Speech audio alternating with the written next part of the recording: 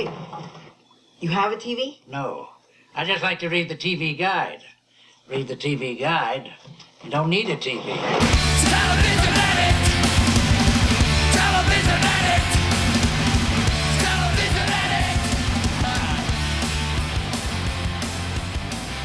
Hello, happy Wednesday, everybody. It's Ken Reid, your TV guidance counselor, here with yet another episode of TV Guidance Counselor. I know I sounded a little bit uh, weary there. I was like, yet another episode. Just let me, let me live my life. But I'm actually very excited about this episode today. I don't know why I'm low energy today. Uh, you know, I have had coffee. I should be doing a okay.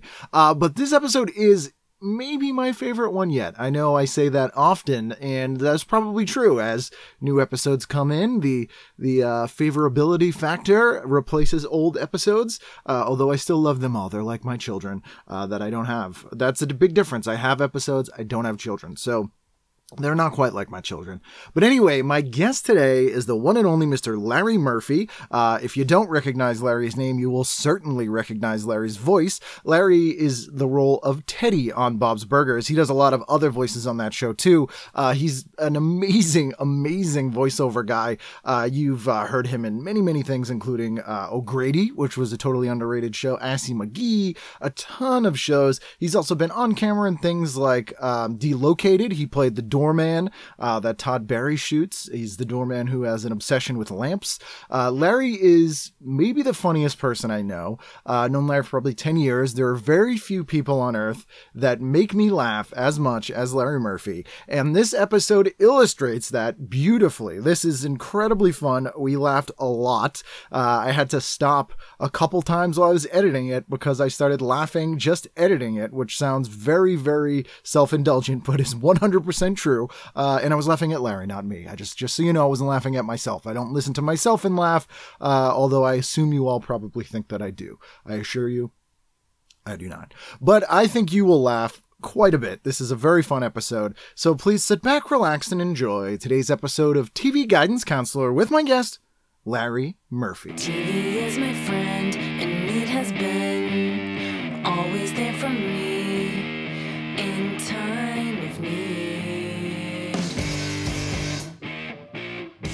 Larry Murphy, how are you?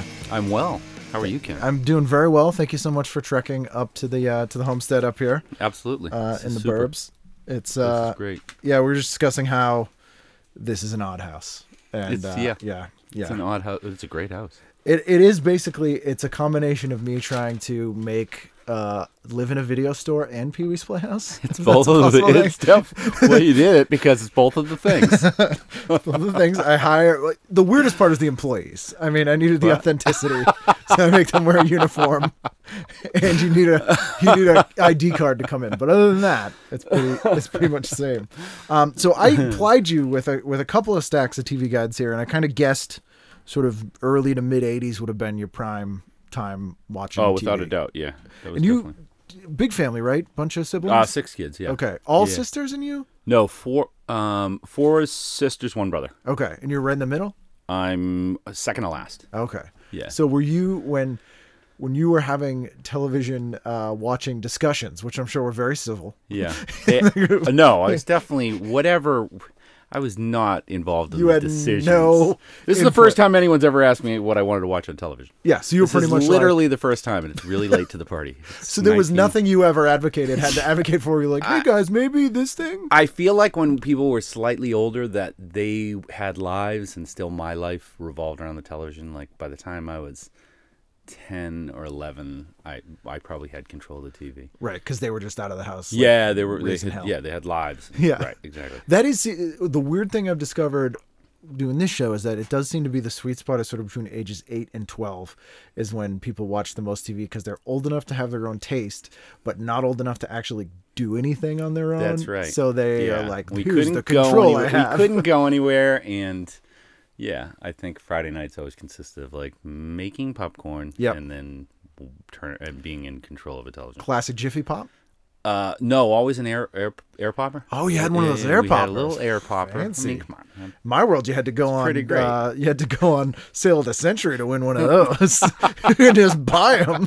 Wait, it, those are like fourteen dollars, I know, they? it's true, yeah. they're they haven't gone up or down in value. It was they're- never a new technology. They're like ten Jiffy Pops. I don't even know if you can still buy Jiffy Pop, but I feel like You can still buy Jiffy Can Pop. you buy? It's out the therapeutic value of making Jiffy Pop. No, it's super satisfying. I think that's the next adult coloring super book. satisfying. But it's also every once in a while one of those would go horribly awry. Oh yeah. You you know, and you're psyched for popcorn, and then mm, It never made great popcorn. It was just no, the it's the of, it's yeah. com- no, it's horrible popcorn. But it's like something happened and you did it, so it's pretty good. like I made this. Look, it's in, it's in, it's getting big. Yeah, I in- in hindsight now that I've mentioned it and I'm thinking about it, there were some major family fights and a lot of pressure over being in charge of shaking it as it went. And like, Yeah, yeah. It's too fast. No, you do it. Do it There's, got to be a technique. It's too long right? now. Yeah. It turns out that if it just hits heat, it will do what Yeah. it's supposed to do. There's no shaking There's no- required. There's no trick. and you cannot be blamed for Right. that. Yeah, I did discover there's a weird local company. I've used the word weird too much this episode already,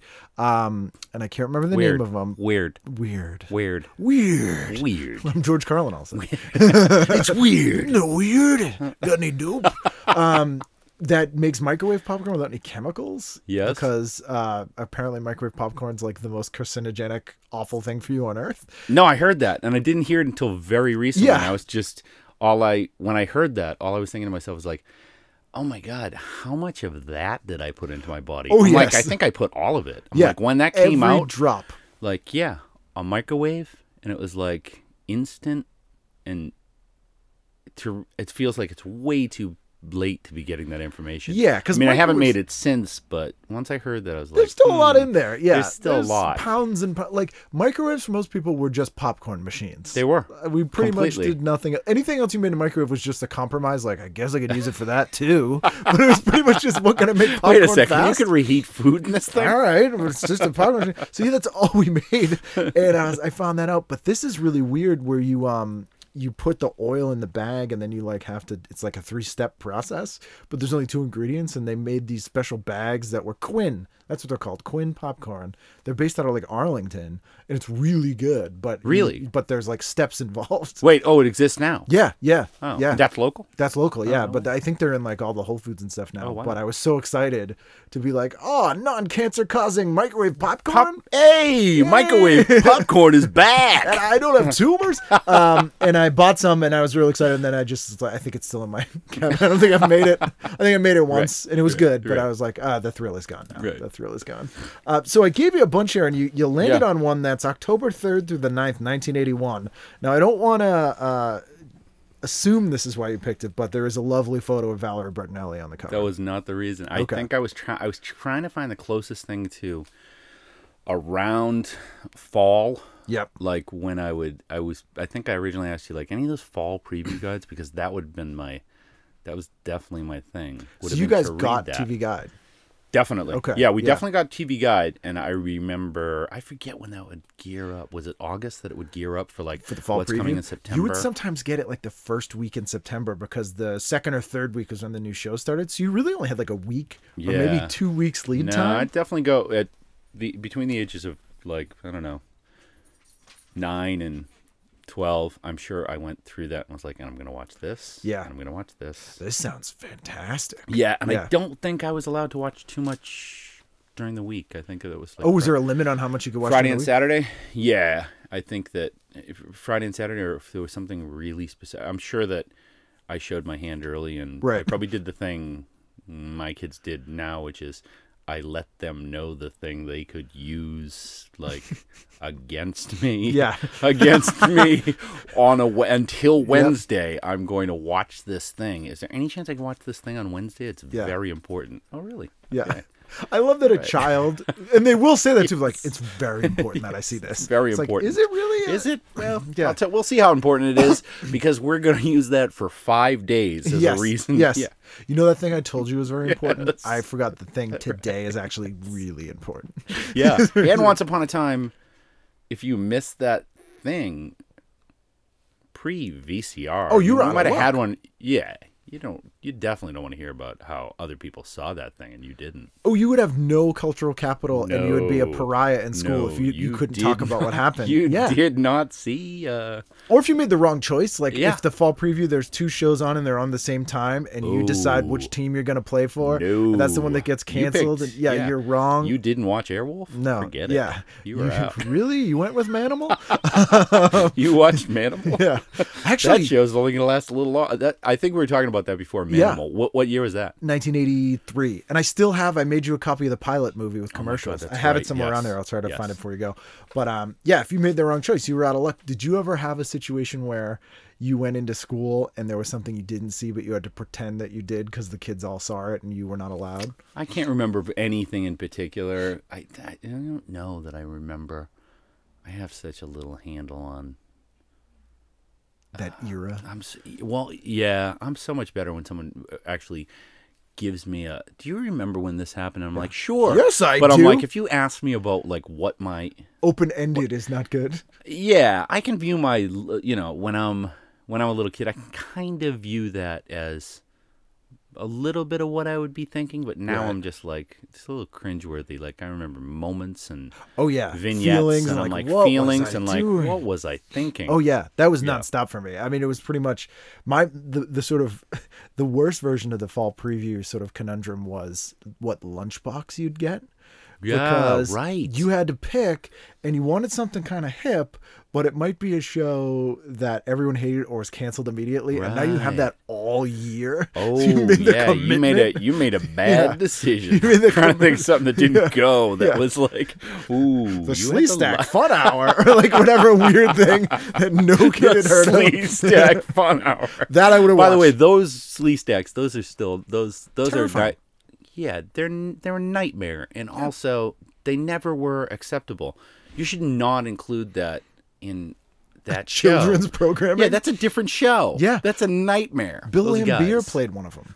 Are you serious? Yeah, a bunch of college basketball players were, and some of them went on to They play the professional height? ball. They needed the height. They wanted lanky, tall dudes. That's so for these crazy. stack suits. Yeah, Yeah, and they moved slowly. and and the they had a- weird I- lumbery. yeah, I, know I had plenty of dreams about Sleestaks, every Sid and Marty Krofft thing was terrifying, but Yeah. the Sleestaks were probably the most terrifying. and they had Chaka in that show. too. Chaka is horrific. They had here's the levels they went into. For what year? What year is this? Because I- 75 I, feel like I saw Stars. all of this. Oh yeah, Land of Lost. I'm like, and that's 75. told. I come on. I I mean, I'm sure it went past that, but I feel like five, Yeah. six years old. I'm sure I watched those. It was in And reruns. people forever. thought Nothing- People probably thought, "What's the big deal? He loves dinosaurs, and it's a show about dinosaurs." Kids love a terrifying Kids monkey man. well, the weirdest. So that show they took really seriously. They hired a Harvard linguist to invent a language for Chaka's people. So everything he's saying isn't nonsense. It's an actual language that this person invented for that race in the show. That's real. Yeah.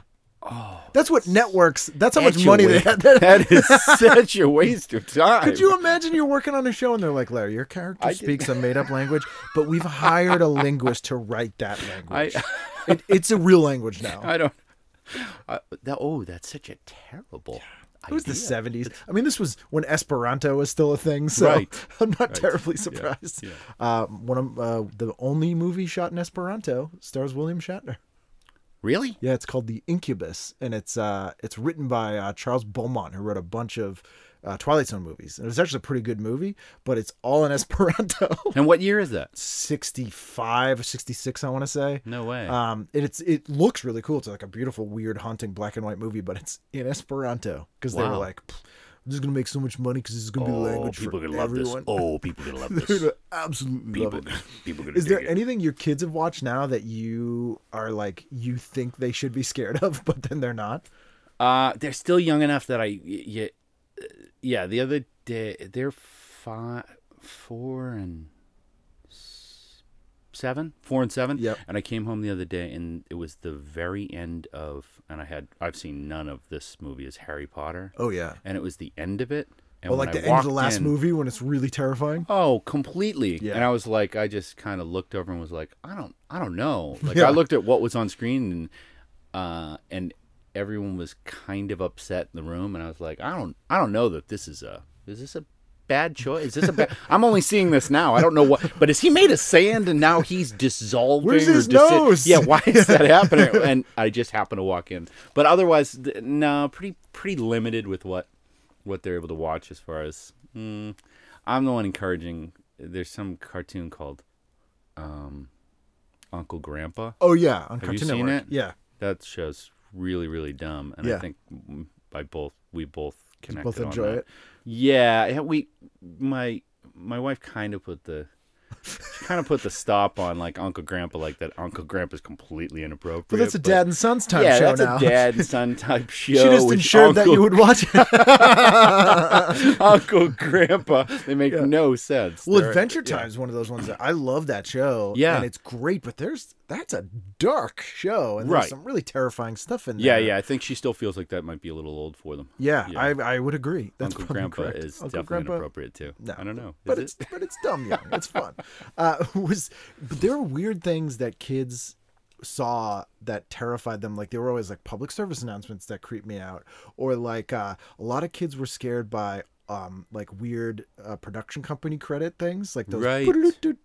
Like the embassy Right. one for some weird reason there's like a whole bunch of people terrified by those No kidding. Yeah. What's the one? What was the embassy one? uh, it was like that weird E that spun around on a blue screen. It was like a white E, and it went like At the end of boo." what? It was before like Benson, um, Really? and it was after uh, a bunch of different shows. and Oh God, like- I got to go on YouTube and remind myself Oh, people have done that. whole edits of them. Like here are the most Really? terrifying ones. Yeah, Oh, that's interesting. like the Sit Ubu sit, you know. Yes. but that one I don't think uh, made anyone uncomfortable. Yeah, or there's a cat inside of an ashtray. Yes, Is yeah, cat inside of an ashtray? yeah, the MTM thing. Yeah, yeah, yeah, yeah. yeah. Um, it's it's a, a, parody of the M- the MGM, but for Oh. MTM, so it's a cat.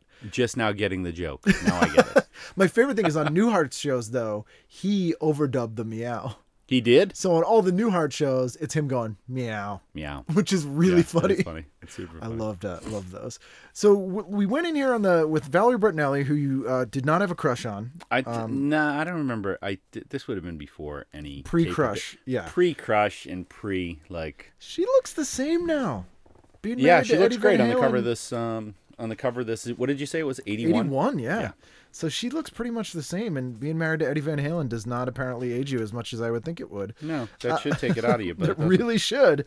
Um, she has a son named Wolfie, she does. Wolfgang Van Halen. That's a great name. Yep. He plays bass in Van Halen now. He replaced Michael Anthony. He did. Yeah, they kicked Michael Anthony out. Wow, that band is still going. Oh yeah, with with David Lee Roth.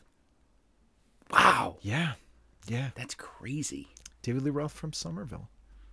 I didn't know that either. Yeah. He's from Summer. Grew up in Somerville and then moved to Southern California when he was like 19 or something. Wow. and then for for a red hot second, he did radio. Oh yes. He did. You replaced. Stern on terrestrial radio. That was the craziest. Uh, That was bad. Yeah, that You was the need- height of me commuting, and I listened to that, and I was like, "Wow, I can't believe that How is they." this a thing? Yeah, how is this happening? He uh I highly recommend It didn't happen for long though. How long did? Oh no, did it was only it was like a month and then they yeah, it him. was like if I started doing radio today, and I Yeah. felt like that was the level of like, sure, give me a show. But they Can't be any worse than Zazow! He didn't do Yeah. enough Diamond Dave type stuff. There's He just you. Everyone would have loved to listen to Diamond Dave. Zidabop. It was when he was getting, uh, yeah, he kind of, serious now. yeah, Yeah. pontificate a little bit, and of my uh, you know what we're doing. Uh, But- but he wasn't even doing like a, um, time. like a uh what's his name J. Geils band um uh Lights Out Peter Wolf Uh, yes, Peter Wolf. when he used to be a BCN DJ Right. and he would he was huge on like the wow zigging back big old stacks of black slack coming to Zach Jack Jack back Zach Jack wow and you're like what are you Coming to the top of the hour, it's just about 72 degrees outside. What are you hey, talking what do you wanna- about? Yeah, just rhyming nonsense. It sounded like everything. Every other thing he said was "shanana." Right. Are you playing shanana? Are you just saying that? But the two things that two David Lee Roth things I have to recommend to everybody are: a, go to his website, Okay. and the the homepage is just a loop of him dancing. Okay. and it's hypnotic. And somebody, and this probably, you know, I'm sure I'm not telling a lot of these people anything they don't know, but someone took just all the vocal tracks from Van Halen songs and put them on YouTube, so it's just his vocals, no music. It's hilarious. Those have to be good. They're amazing because in running What's with the What's the best one? running with the devil. Yeah, yeah. Because at one point he goes, "Hey, hey, you! Who said that?" it just sounds like a complete maniac. Hey, hey, you! Who, said said that? that? And then- Baby, how you been? How you been? Just Yeah. so- like a crazy person. And there's a lot of just ah, ow, and you can hear the Hey, uh, hey, uh, uh, David, real quick, can we get a couple of wild, like, ah, just whatever you want to do? Ooh, there's like all kinds Yeah. of crazy, just isolated. It's fantastic. Uh, much better than uh, Sammy Hagar's solo tracks. Yeah. Um, so Saturday night, jumping right in on right. uh, October 3rd, we're, we're coming into Halloween month. You've already probably solidified the new shows you liked in 1981 that you picked in September. Uh, what'd you go with? I, I imagined that uh, at 8 p.m. I, I didn't feel like I had too many choices. I had to go with Walt Disney. Yeah, there was it was Walt Yeah. Disney, the Mandrells, their Love Boat. Uh, Really, What was the storyline of the Walt Disney? uh, tonight it's the Love Bug. They're showing Herbie the Love hmm. Bug, I feel like 1969's it- it comedy. Wouldn't have, held- wouldn't have held on to me in, in 79 because I would have been hoping it would be one of those. Walt Disney could go either way. That could be something family friendly, or they could be something like a Witch Mountain, yeah, Escape to which Witch feels Mountain. like I haven't seen one of those in 40 years. I just know that those were horrifying. Heart still are. Yeah, they both are movies. If you rewatch are. that, is that a horrifying thing? Yeah. I can tell you nothing about it except for like that I probably saw all of them. Yeah. and watched them. You know, it'd be something that I would. My move was to be real close to a TV at the beginning of watching something, Easily and then back away. move until you're back out of the room and all the way to the room. And now I watch my son do the same thing where he leaves the room and I go, "Hey, wait a second! I thought you were watching that." And he goes, "Yeah, no, this, but that, and then um, uh, but the, the um, but this part." I lift the iron. This on. part, yeah, but this part. No, no, I'm going back up there. Just, but this Yeah. part is no. It's Yeah, just this back- part, but then I'll be back. out of the room. Right. slowly so people don't notice Yeah, kind of that's thing. the room. Yeah, That's Escape to Witch Mountain was terrifying. Uh, Disney was really knocking it out of the park with horrifying things in the late 70s, early 80s. Yeah. Watcher in the Woods is one that comes up all the time, which was a horrifying movie with Bette Davis in it. And uh, Something Wicked This Way Comes, which terrified everybody. Am I crazy to say that it used to be a Sunday night show? Yeah, I Wonderful like we World of Disney was Sunday night. Watch Yep. a Sunday night. Which is every still Sunday. on now. Every Sunday they do the Wonderful World of Disney. Sometimes it'd be like Charlie, the Lonesome Cougar, and then sometimes it would be a movie like the Gnome Mobile that they'd show in two parts. Dobie O'Gillis and the Little People. Um, Is so- Incredible Journey? Is that Walt yes, Disney? Incredible is Walt Disney. I don't think it Yep. holds up, but boy, No. I really loved that whole. Yeah, the little dog con- and the cat well, there. No, just that narrator thing. Oh, yeah, yeah. He's just like, where it's just like, it wasn't long before Tiger found trouble. He's walking along. Yeah, They made some new friends. that And was a uh, good gig. Oh, that guy great then. gig. Yeah, because he did the goofy ones too. Like I always loved the cartoons. Is it that? Is like- it the same guy? Yeah, the the same guy. ski and Goofy would be like, Goofy tries skiing. And Oh, yeah, right. This is thing. Goofy. G- Goofy gives it a shot Yes. trying skiing. Of course, this car is Yeah. only for dogs. you know, like whatever weird thing it was. And the mother. yeah. So this is Love Bug. I love their description though, because they would break it up. They'd show it in two parts, which is weird. They'd show a movie an hour one week and an hour the next week. Yeah, yeah, Uh, yeah. They get a lot of time out of that. that. That's funny too. The idea of you that you would break that up and that you'd be tuning into the rest of Love Bug a week later. Yeah. Right. Oh, I'm hanging on to see what Yeah. happens here because you couldn't Yeah. rent it. But well, this that's is a, that's you binging that show. I don't. You binging that show is over the course of two weeks. Yeah, it's a two week binge. I don't remember this being a part of Love Bug, but uh, the Love Bug shows it as more than one trick up its fender in a wild race against the unscrupulous driver who once got it drunk on Irish coffee. That's a that's a he got that's a the car storyline. drunk on Irish Wait, that's the storyline of Love Bug. Yes, apparently. Is that the original Love Bug Yeah. movie? Yeah, Well, I don't. I definitely that. don't remember that being. I remember Herbie Goes storyline. Bananas because the Spanish kids called him Ocho because he had an eight on his hood. Ocho.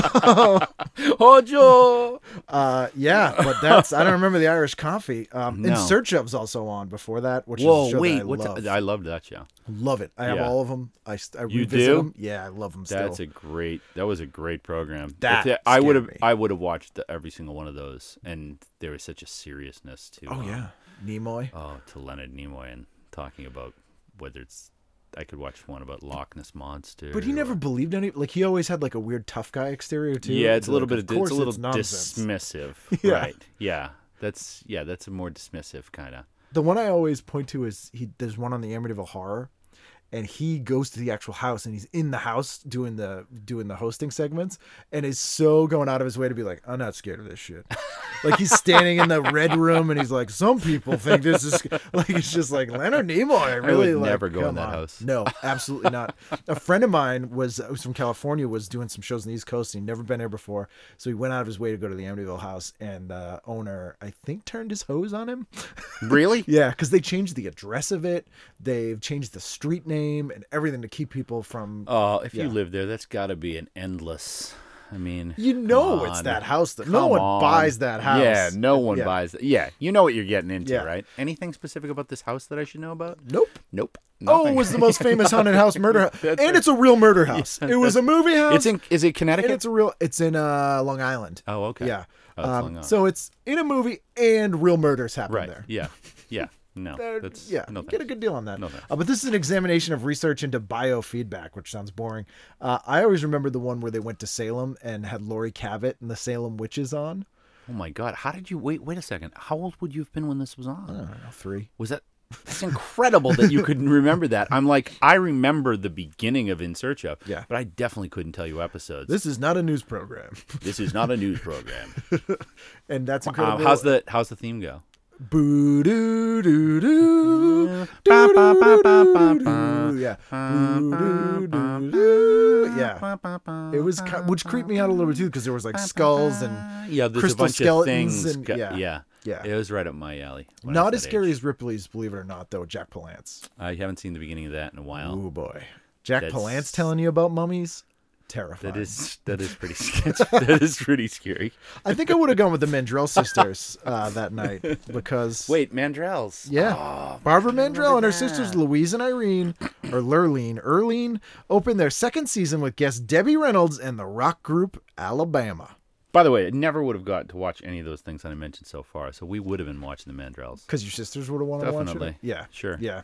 I want to see how their hair is this season. Yeah, of course. Why not? You gotta. Love Boat has some really good guest stars this night, though. Wait, Pam what times? What times? Love Boat's on at eight, so Love Boat's on against the Mandrells too. Yeah, I mean, I guess I was trying to go with what I thought I would wa- watch at that age. Yeah, but if I have my choice, I would definitely watch Love Boat. Listen how great this Love Boat is. An ambitious singer played by Donny Osmond is embarrassed by his family, who are hillbillies, who arouse the curiosity of a novelist played by Eve Arden. And then the captain opens his suite to the crew after their quarters are flooded, and two passengers, played by Robert Guillaume and Pam Grier, are cheating on their mates. Loni Anderson's in this one. Rich Little is in this one. Richard Roundtree is in this one. How long is the show? Is It's it two hour. hours? Yeah, Slim Pickens is in this one. Oh my! Wow. Yeah, that's see- a lot of story. That's a lot of story. You have Pam Grier and Richard Roundtree. So you have Shaft and Foxy Brown in this Love Boat episode. It feels like a layup to remake that right now, right? Well, we don't have guest stars now, though. Yeah, no, but that's what people should do. They should find out a way to Be professional guest stars.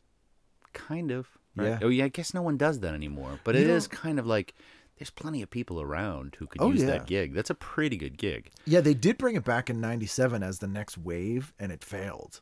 Really? Yeah, and they brought back. No one liked Island. that? No one liked it. There's It no one who's just personalities anymore, right? I mean, Yeah, like you're either like, a there's no comedian or you're. A, there you go. There's no Yeah. charos, right? I I think they could try it now because I think that the the age of the '90s people didn't have a nostalgia for the original one, and people were a little bit serious about stuff. Right. So I think now you could do one and make it silly and stupid and good. Yeah, you're either. I mean, there's a whole bunch of. You're just kind of making.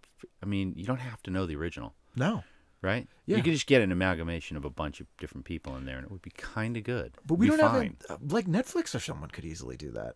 Definitely. Oh, let's no, pitch it. We'll make that- a million dollars. That no, if you're gonna if you're gonna waste your time pitching one, Yeah. it's not Love Boat you want to bet bet uh, that you want to pitch.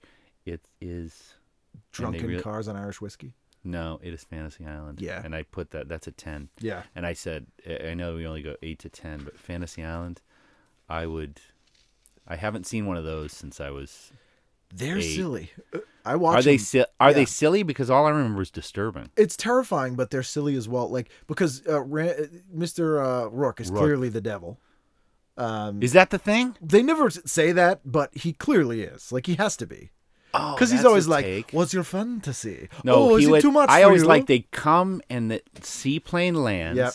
and then Rourke uh, is standing there in the white suit, and the people start to get out, and then Hervé Villechaize is like, Hey, boss, what's her fantasy? yeah, her fantasy is tattoo that she used to be a famous actress, and she wishes that she could go back to that time when she was a famous actress. and how? Here's what I always want to know: is A, How how you gonna do know? that, boss?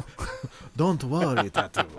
like, how did he know? Is there like a con- like oh, every year a thousand people write letters and a hundred people are picked? You know, yeah, it was a little this is my unclear thing. on how why you got picked for Fantasy Yeah. Island, but I, all I remember is like really disturbing. There's some scary ones Yeah, because they always went wrong.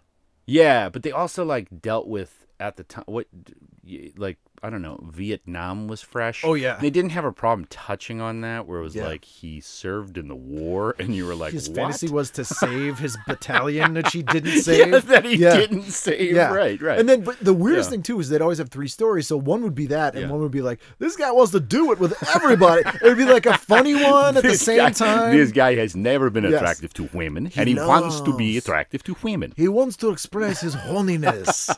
Do you remember who they replaced Tattoo with when uh, Hervé No. Villechaize was too drunk and violent on the show? Is it? Is that really what happened? Yeah, he was bringing guns with him. Wait, he was drunk and violent, and then they had to. They took. They axed him. Yep. He is like the most popular part of that Oh yeah. show. Yeah, he and he knew it, and he got an attitude, but he also had a huge alcohol problem and carry a gun all the time. He was a fine art painter, which is what brought him to the states. Really? Yeah, he was a really And fascinating. where's he from originally? France, uh, small village in France. No way. Yeah, Wow. and so he he was a nightmare apparently on that show, and they replaced him with Christopher Hewitt, also known as Mr. Belvedere. Oh no. Yeah, That's not. yeah, Did they put him in a white suit? and They're Yep. both in white suits. Yep. And how long did that go on? a season, and then they replaced Christopher Hewitt with Wendy Schaal, who's an actress. She was in The Burbs, and uh, Wow. uh, yeah, just they couldn't. You're never gonna get another tattoo. no. But then he fell in hard times. Do you remember he was in a Dunkin' Donuts ad in the 80s? Definitely don't remember that. He came in, it was during the time to make the donuts era. And Hervé Villechaize comes in and he goes, The plane, the plane, the chocolate, the chocolate. and it was him picking the donuts. I was like, Poor Hervé. So I just sign here and here. yeah. So I just sign here, See and I plane? sign here, and then I do the lines, And and, then then, the I can go. And I always get Dunkin' Donuts. You know, oh my God, you know what I'm remembering now? They, this is horrible, and I'm 99% sure this is true. They used him in the ad campaign to introduce Munchkins. Which are donut holes for people who don't have Dunkin' Donuts. but I'm 99% Let's take a second sure. just to think Poor about Hervé. how sad that. That's not. Uh, He got paid. yeah, he did. He got paid. Yeah. It's behind him. It's the eight. It's the eighties. Fantasy Island money Yeah. is running out. Yeah. So he's gotta he's gotta be in an ad for food based on his genetic affliction. Right. Yeah. uh, you wouldn't Just kind of cavalier about it. Just Yeah. uh, that's the way that is. Munchkins, get used to it, buddy. Is that the only genetic disability that has a food named after it? Maybe. I mean, that sounds. Yeah, I'm trying to. No one would. Di- I would hope that no one would do anything like that now Yeah. today. Yeah, Um, it's pretty. I'm sure there was a candy at some point in the '60s named like pinheads or flipper babies or something. Oh my god! they would just be like, "What? What? What's the big deal? Who cares?" Um, and, it's uh, candy. It's fun. It's candy. Kids It's like candy. it. Kids love Kids. it. Uh, Come on, I- everybody loves pinheads. Everyone loves What are you talking pinheads. They're great. about? I grew up with pinheads. Well, do you remember like all the cherry, like, which they call them cherry heads now, but lemon heads, the the non lemon varieties were all racist. What cherry heads were called Cherry Clan, and it was like a Chinaman You're. Oh, what? Wait, what was the name of it though? Cherry Clan.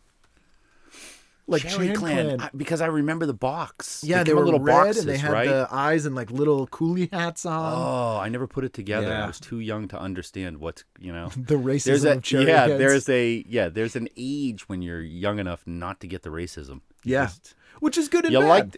You well, I mean, go, uh, yeah. Well, you're well, you're ba- you're not basing it on your racist choices. You're basing it on what kind of candy you like. I only like candy. The worse I hate that race, the more I like the candy. Well, you do know sugar baby, the sugar babies thing. No. Oh, uh, sugar Wait. babies and sugar daddy. Uh, those No. were originally called N-word babies and N-word daddy. Until when? Fifties.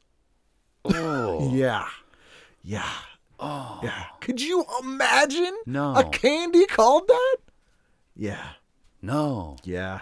That's horrific. How about not throwing out? How about something having such a rich and horrible storied history Yeah. of being like, "Hey, don't throw out the baby with the bathwater. Yeah. We can just change the name. Still make the Oh, candy. Still ugh. make the candy. That's not a problem at all. Uh, yeah, and they had to put sugar in, which got came out of cereals because like super golden crisp was super sugar crisp, and then they changed it to golden because kids sugar smacks turned into honey smacks. Oh, they removed the word sugar. Word the sugar, but sugar babies, they were like, ah. Why don't we put the word sugar in there? Because, uh, oh boy. I, lear- I learned something I didn't know. Sorry to ruin uh, Sugar Babies for you. um, there is an amazing uh, made-for-TV movie on at nine o'clock that night. I don't know if you picked it. I did. It was called Tilt. Yes. Yes, Tilt 1979. I picked that because that would be the kind of thing that I definitely wouldn't have been allowed to ever watch, and that sounds like something that I would. I had a friend when I that lived down the street who, um, maybe you had one of these friends, or maybe you were the person I who was like this. this You person. probably were the person. It's just basically the person who could do whatever they wanted. Yes. And I'm like, yeah, you were the person who could I do was whatever that they wanted. person, yeah. so he could do whatever he wanted, and if I stayed over his house, we could do whatever we wanted. Yeah. And uh, they had a uh, they had a VCR before anyone had one. Top loader? yep. Were they a Oh, satellite dish house? Uh, I don't remember them a satellite dish, but I remember their father got into the uh, video game racket. Uh, Okay. Video, not video game racket. Video tape racket. Oh, he was like the flea a- market bootleg guy. No, it's worse than that. It's when they opened when they first opened up. People don't know this, but when they first opened up um, video stores, they used to they would lay the boots to people. They would lay the boots and they would be like a lifetime uh, you'd sign up for membership. and it, for membership, and it would be like, yeah, it's a lifetime membership. It's going to be about uh, what's the maximum amount, of, reasonable amount of money that someone would pay Two bills. to, to how much you got on you. Yeah. How much you got? You can, can you go home? You come. You want to come up with like two fifty. If you two hundred lose a tape, you you leave one in your car. I know where your kids go to school. It would be about two hundred and fifty dollars, and then you'd still pay rental fees. It was a deposit. It was like that money. Yeah. but it would be like two hundred fifty dollars. So I, I think at the beginning, a lot of people was a real heyday. Oh, And yeah. so I think his father was doing pretty well off of. Uh, Did he own a video store? oh yeah, he owned a video store. Oh, this was And- in uh, Abington. It was in not. He didn't own it in Abington. It might have been in Quincy, Massachusetts. Was it a dirty video store? I think they all were. I think In that Quincy, it was. they I, all uh, are. no, I'm sure like half of the. You know, I'm sure Oh, the like things they I'm sure at the made money beginning it's you know uh, you Yeah. know. Yeah, there's some curtain, and then if you went back through the like the front end of the store is like that's a pretty small video store. Yeah. And they had probably had a curtain, and then you went back there, and then it was like, oh, this is where the rest of the store is. Do this uh, many people really yeah. rent Children of a Lesser God? no, they don't actually. They rent no one, the yeah, no one was hunting down the Oscar winners for that year. I remember we, see. we had a video store open in my town called Movies on Video. yeah. And uh, my cousin Michael uh, was the first one to tell us that it opened. And he came over and he was like, This fucking place is fantastic. They got fucking triple X movies and binders. And uh, these movies I read about in Penthouse. And one of them, one of them got four fucking stiffies. And you can rent it. And I remember being like seven years old and being like, Why are you telling us this at, dinner uh, with the whole family here? Uh, but it was a good video store. But I never, I never went into that area. But, yeah, uh, I don't. thi- I don't remember. Uh, there was no exposure to. I'm sure that's where he was making his money. There was no exposure to that, but it was. It was definitely a place where I was would be able to watch something that never would have been allowed Yeah. to watch, like I don't know, Kentucky Fried movie, Movie, yeah. or car wash Yeah. or like but this one tilt when i saw Yeah. it this is what this reminds me of It's like tilt i don't know anything about it but like It looks like i it do know dirty. that it's eh, there's going to be a scene in tilt that's probably inappropriate for someone who's eight So this to is Uh, watch. so it's uh, Yeah. from 1979. It follows the cross-country odyssey of a 14-year-old pinball wizard and aspiring rock singer, played by Brooke Shields. Okay, that's So I mean, she's traveling the country hustling pinball at 14. yeah. Nine year old me is nine, ten year old. I'm gonna watch that. Yeah, and they re-released it because Did you see the ad that they had in there? Oh the yeah, it's fantastic. Brooke Shields is Tilt. yeah. But do Before- you see what it? Yeah. Before Blue Lagoon, before, Before Endless Blue Love. Lagoon. Have you seen her naked as a teenager? Watch her play pinball. Yeah, Right. That's Yep. what it is. It's her first starring role, and Charles Durning is in it too, which is really weird. Yeah, that is really weird. Uh, I just love the concept of someone being like a cross country pinball hustler. Yeah, I mean that's you know, you, you, once upon a time you could do that. I might, uh, once upon a job for it. time you could make that'd be a real racket for you. Oh yeah, pinball hustle. Uh, Saturday Night Live premieres uh, this night. It's the the season opener for the 1981 season, Really? And uh, this is when everybody had left. So this is the oh, first yeah, cast without when... Lorne Michaels, right. without any of the people. Uh, right. Uh, it's got a film of John Lennon and Yoko Ono made especially for this show, and musical guest Rod Stewart, plus a surprise guest host. Wait, that's who the, they don't say who the host was? Nope. For 81? Yeah. Wow. And I don't remember who it is either. It's seventh season premiere. It's a good question of whether that so 81 they yeah. just added Christine Ebersole and Mary Gross to the cast. Mm-hmm. Returning cast members are Robin Duke, Tim Kazurinsky, Eddie Murphy, Joe Piscopo, and Tony Rosato. Okay, who just died. I would have stayed up and watched this. I yeah. would have seen. I would have seen that at age, um, nine. Yeah. Oh, I totally would have watched. I would have watched. It. Yeah. I, I, probably was watching all of Saturday Night Live at that age when I was that. Oh, for sure. I was that young. Yeah. Even I that probably didn't the, miss it. The worst years, there was still some fun stuff in there. Yeah, without a doubt. I mean, that that's the years that Eddie Murphy completely. He was the star of that show. Oh my God, it was Yeah. great. Joe Piscopo. I mean, He'd be in all the sketches. yeah. Once they found out that that was what people liked, Eddie Murphy was all over it until he did It 48 was- hours. Yes. He was the only cast member, and I don't think this has been broken since, to host the show while they were a cast member. That happened. Wow. Yeah, I think it was 83 or 84. Um, he hosted, I think it was the season premiere because he had done either 48 Hours or Did Beverly Hills Cop that- over the uh, summer. And it was huge, and he was still under contract for a year, so he hosted while he was a cast member, which is pretty amazing. Yeah. I mean, but so I mean, how so? How long was he on SNL? Four years. That's unbelievable. It's a volume of stuff. And he was 19. I remember. I remember how young he Yeah. was. Dan Yeah. Aykroyd was 19 when he joined the cast. I this one, too. remember him beyond uh, beyond the character beyond his characters which were some of the funniest things that were on there. I just remember that he- that guy was self-aware that he was 19 Yeah. at 19. I definitely was Not, not that at confident. 19 at 19 years old. I think he's like I remember he had a sketch where he says um I'm Eddie Murphy. I'm 19 years old or whatever. And Yeah. then he has a driver who says, "We're ready for you, Mr. Murphy." And he said he graduated from Harvard, or he makes a reference to Yeah. his driver. That I'm like, wow, Yeah. that's unbelievable. Yeah, he's he- 19 years old. He was one of the first Crazy. guys Super funny. that kind of did that Chevy Chase thing where uh, that where he was like, "I'm me on this show. Yes. I'm not just the characters. Right. I'm the star of this show." Yeah. And- well, he used to start his live shows by, I remember, I forget what one of the original, what is for Delirious or Delirious and then Raw. a lot of that yeah. stuff doesn't is really offensive now. But I Oh, remember yes. he would say at the beginning of those live shows, he would say something like, "If anyone expect to see, I'm looking at him right here. Yeah. Yes, you have a Gumby in here. Yes. If anyone expect to see Gumby, get the fuck out. Yeah, it's not going to be that greatest. It's show. not. No one is gonna do buckwheat. I do want to point out before we move on to really Sunday funny. night here, one of the weirdest ads I've ever seen, which I will scan. I don't know if you saw this, but for personalized talking animal chairs, did you see this ad? No, I didn't. I, Hey, look at that! They're horrifying animal I- I chairs missed it. that This- squeal. this right here.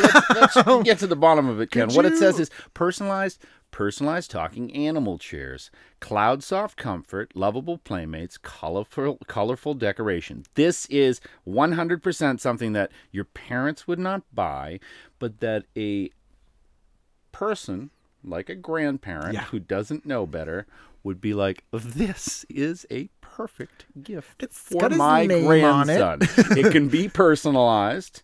You can pay by Visa, Mastercard, or oh, COD. back in the day when you could pay by COD, Poor which people don't even know what COD is. You would do they? pay the mailman. Can you imagine you buy something on Amazon and when the mailman brings it to you, you have to pay him? Not only do you have to be there, but you have to be there and you have to have cash. Yeah. You have An cash exact change. and exact change, and you pay the mailman. Yeah. Ooh. And you don't know if he's gonna actually say that you paid him. No, you don't know what, what's going. No, Yeah. you might get your product, you might not. Who knows? You Yeah. might get it a day in advance. Maybe he asked you the. I forget how it worked. I sometimes they'd give you like an invoice or something, or they'd let you know that like Right. tomorrow I'm Oh, coming by. Tomorrow I'm coming by I'll for the money. personalized squeak chair. the idea, the idea that the, the idea that the mailman's like, have that money ready for me tomorrow. Yeah, I might got a package Yeah, for you um, tomorrow. Be a Hey. shame if something would have happened to your squeak chair. Yeah, it'd be really sad if you weren't able to sit inside a kangaroo. It's called cash on delivery. You know what I'm doing right now?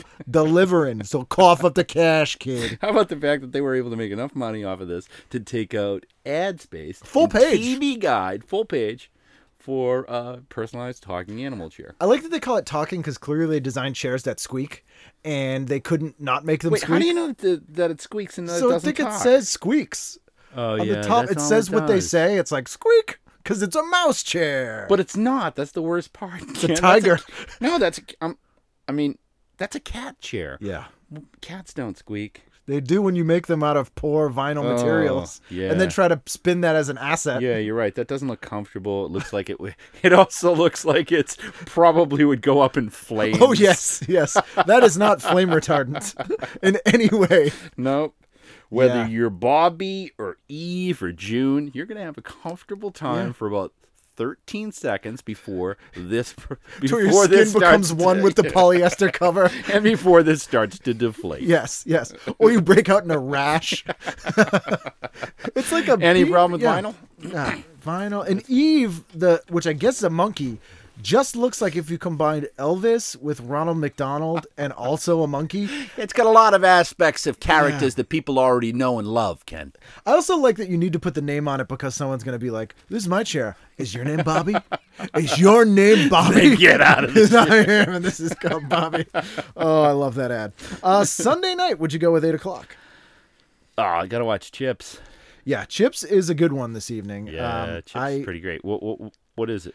The stunt is suicide. The stuntman is John. Watch a world famous stunt. When a world famous stuntman is arrested, John must perform the suicide stunt in order to save the circus. Oh boy. Wait. Is Ponch taking the day off? Why Ponch is there, but he's Are like, you sure he's there? Yeah, he's in the picture. he- yeah, wait, the he's chips in the photo? Wheel, the Chips wheel into their fifth season, chasing a gang. of- Wait, fifth season? fifth season. Okay, well that's fifth season. That means that that the actor who played John was like, "Hey, listen, guys, everyone loves Estrada, but can I get a couple of storylines How about you little How about Larry Wilcox get some starring throw- roles How here? about you throw me a bone here with a couple storylines? this one Uh, gets even I, weirder. I don't know if anyone looked at that thing that I wrote up about the stuntman, but uh, Uh, you know, I can. take a good. You could set me on fire. I got rage. He goes, and this is the I'm height- willing. I'll do I'm- it. guys. I'm willing to be set on fire. We That Evel to- Knievel isn't the cool. This was the height of stuntman That is- coolness. 'Cause yes. Fall That- Guy, Evel Knievel oh, was huge. this stuff is really great. Yeah. It's funny because it's the first time that stuff that is really. I always think it's f- this. The strangest thing about this time period is that it's um. How is it that dopey television could be so meaningful to adults? If you're an adult and you tuned into Chips, This is not a children's show. that is not a children's show, and yet all it's made for is for children Yeah. to and lunchboxes and riding around on a bicycle and pretending that you are Ponch. California Highway Patrol. but it was true Right. broadcasting. I think that whole families Yeah. watch this stuff together, which they don't really now. Yeah, no, they don't. But I you would have a guy you work with in the office and be like, "You see Chips last night? Man, John got set on fire. He was on a motorcycle. Like, do you imagine like someone No. at work now talking about a children's show? Like, dude, you see that so Raven? Oh my God, she had a business baking cupcakes and she got too many orders. like whatever the thing is. Whoa, that was crazy. I saw that. This gets even crazier. Chips is, but Ch- the idea that Chips is definitely not Chips is that's a Sunday night at eight Yeah. eight o'clock. Prime that's time. named that's that's aimed at Whole an adult. families. Yeah. You think whole families? I think whole families. I think they were like, let's put something in for everybody in this. Right. But yeah, more adult than some of the more kidsy type shows Fifth for season. sure. Wait, fifth season too. How many seasons did that I think go? nine. I think it ended in '84, so I think nine seasons. Wow. Yeah. That's Yeah. unbelievable. Uh, and they have a movie out. There's a Chips movie now. Right, theaters, yes, yeah, yeah. Uh, the Chips were on the first season, and then it goes, uh, box office robbers try to keep tabs on a rambunctious motorcyclist who's harassing a Chip employee, a woman he dated, in their native Hungary. Wait, what? yeah, yeah. Wait, that's the plot for. the Chips, and that guy goes to jail because he's harassing this Chips employee, this Hungarian stuntman. So that's why John has to go undercover to combat these box office robbers. Oh, so John goes undercover as a stuntman. Yeah, yeah. Does that seem like a lot? I don't know much about the writing part, but does that seem like a lot of story That's a lot for of something story. that's a lot of that's Yep. a lot of there's a lot of background there. Yeah, There's that's a, lot of unnecessary. Yeah. Do we do we need the part about Hungary and Yo, why why is he Hungarian? It must have been that the actor is a real stuntman and is actually Hungarian. That makes so the they were like, sense. uh, just make Right. him Hungarian. Hey, he can't yeah, do anything else. mind? Uh, Because have you heard this guy speak? Come on. John, didn't. Here's the weirdest thing. Up against this episode of Chips with the Yep. Is a special Guinness Book of World Records hosted by David Frost and Jamie Lee Curtis. And the records include a wire walker at an elevation of 9,000 feet in the German Alps, a trapeze artist suspended from the world's highest cable car in Venezuela. This is my favorite. A man who wrestles a 14 foot snake. I've never seen anyone So wrestle two, a snake. Two things having to do with height and one thing having to do with wrestling a snake. Yes. And how do you set a world record with that? Guess don't die the longest time. Yeah. Or you did it for the longest? Or it's you're wrestling the biggest snake. Oh. It might well, be I mean, the, it can be both of those things. it might be just the dumbest thing on television. Just yeah. that seems like a crazy combination, and none of that stuff is fun unless it's live. I mean, I don't know. I think it'd be pretty fun watching a man wrestle a 14 foot snake. Yeah, but live, I want to know that. I want to know that there's a possibility something might go wrong. How do you know he wins? Like, Well, because it's on the air, Ken. It would never be, never. No, no, but just the when it's on the air, like- it's not a snuff film. How do you know the wrestling match is over? Like, what's the Oh, end how do you know who the you winner pin the snake? Does it get like I don't understand? well, it, it taps out, or it's just It like I'm taps out. done, Yeah, man. I'm done. I'm done. Uh, and then it also has these are non-records. sna- also, the snake does not know that he's in on this. No, this this is not this is not a rivalry No, the snake is is- no, aware of. no, the snake's like, why is this guy rolling around with me? I'll uh, I'll wrestle that snake. Uh, very strange. Then they have featured things that aren't records but are just on the show as well. Like what? Uh, we have canine high jumpers, a water skier, and a violinist who plays riding a bicycle backwards. Those are a lot of throwaways right Yeah, there. yeah, That's, that's just extra stuff. filler. Yeah, that's filler. Human B sides.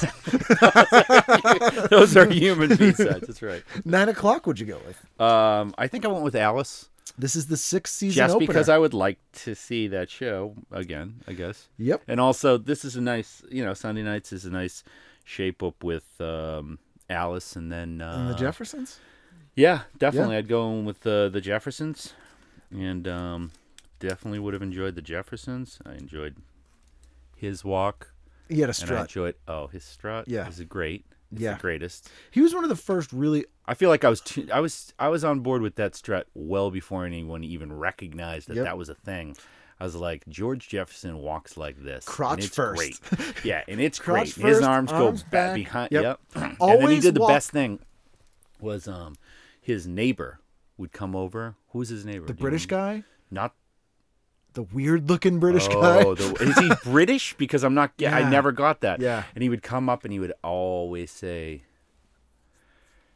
"Hello, Mister J," and then he would say, "Hi, Bentley." Bye, Bentley.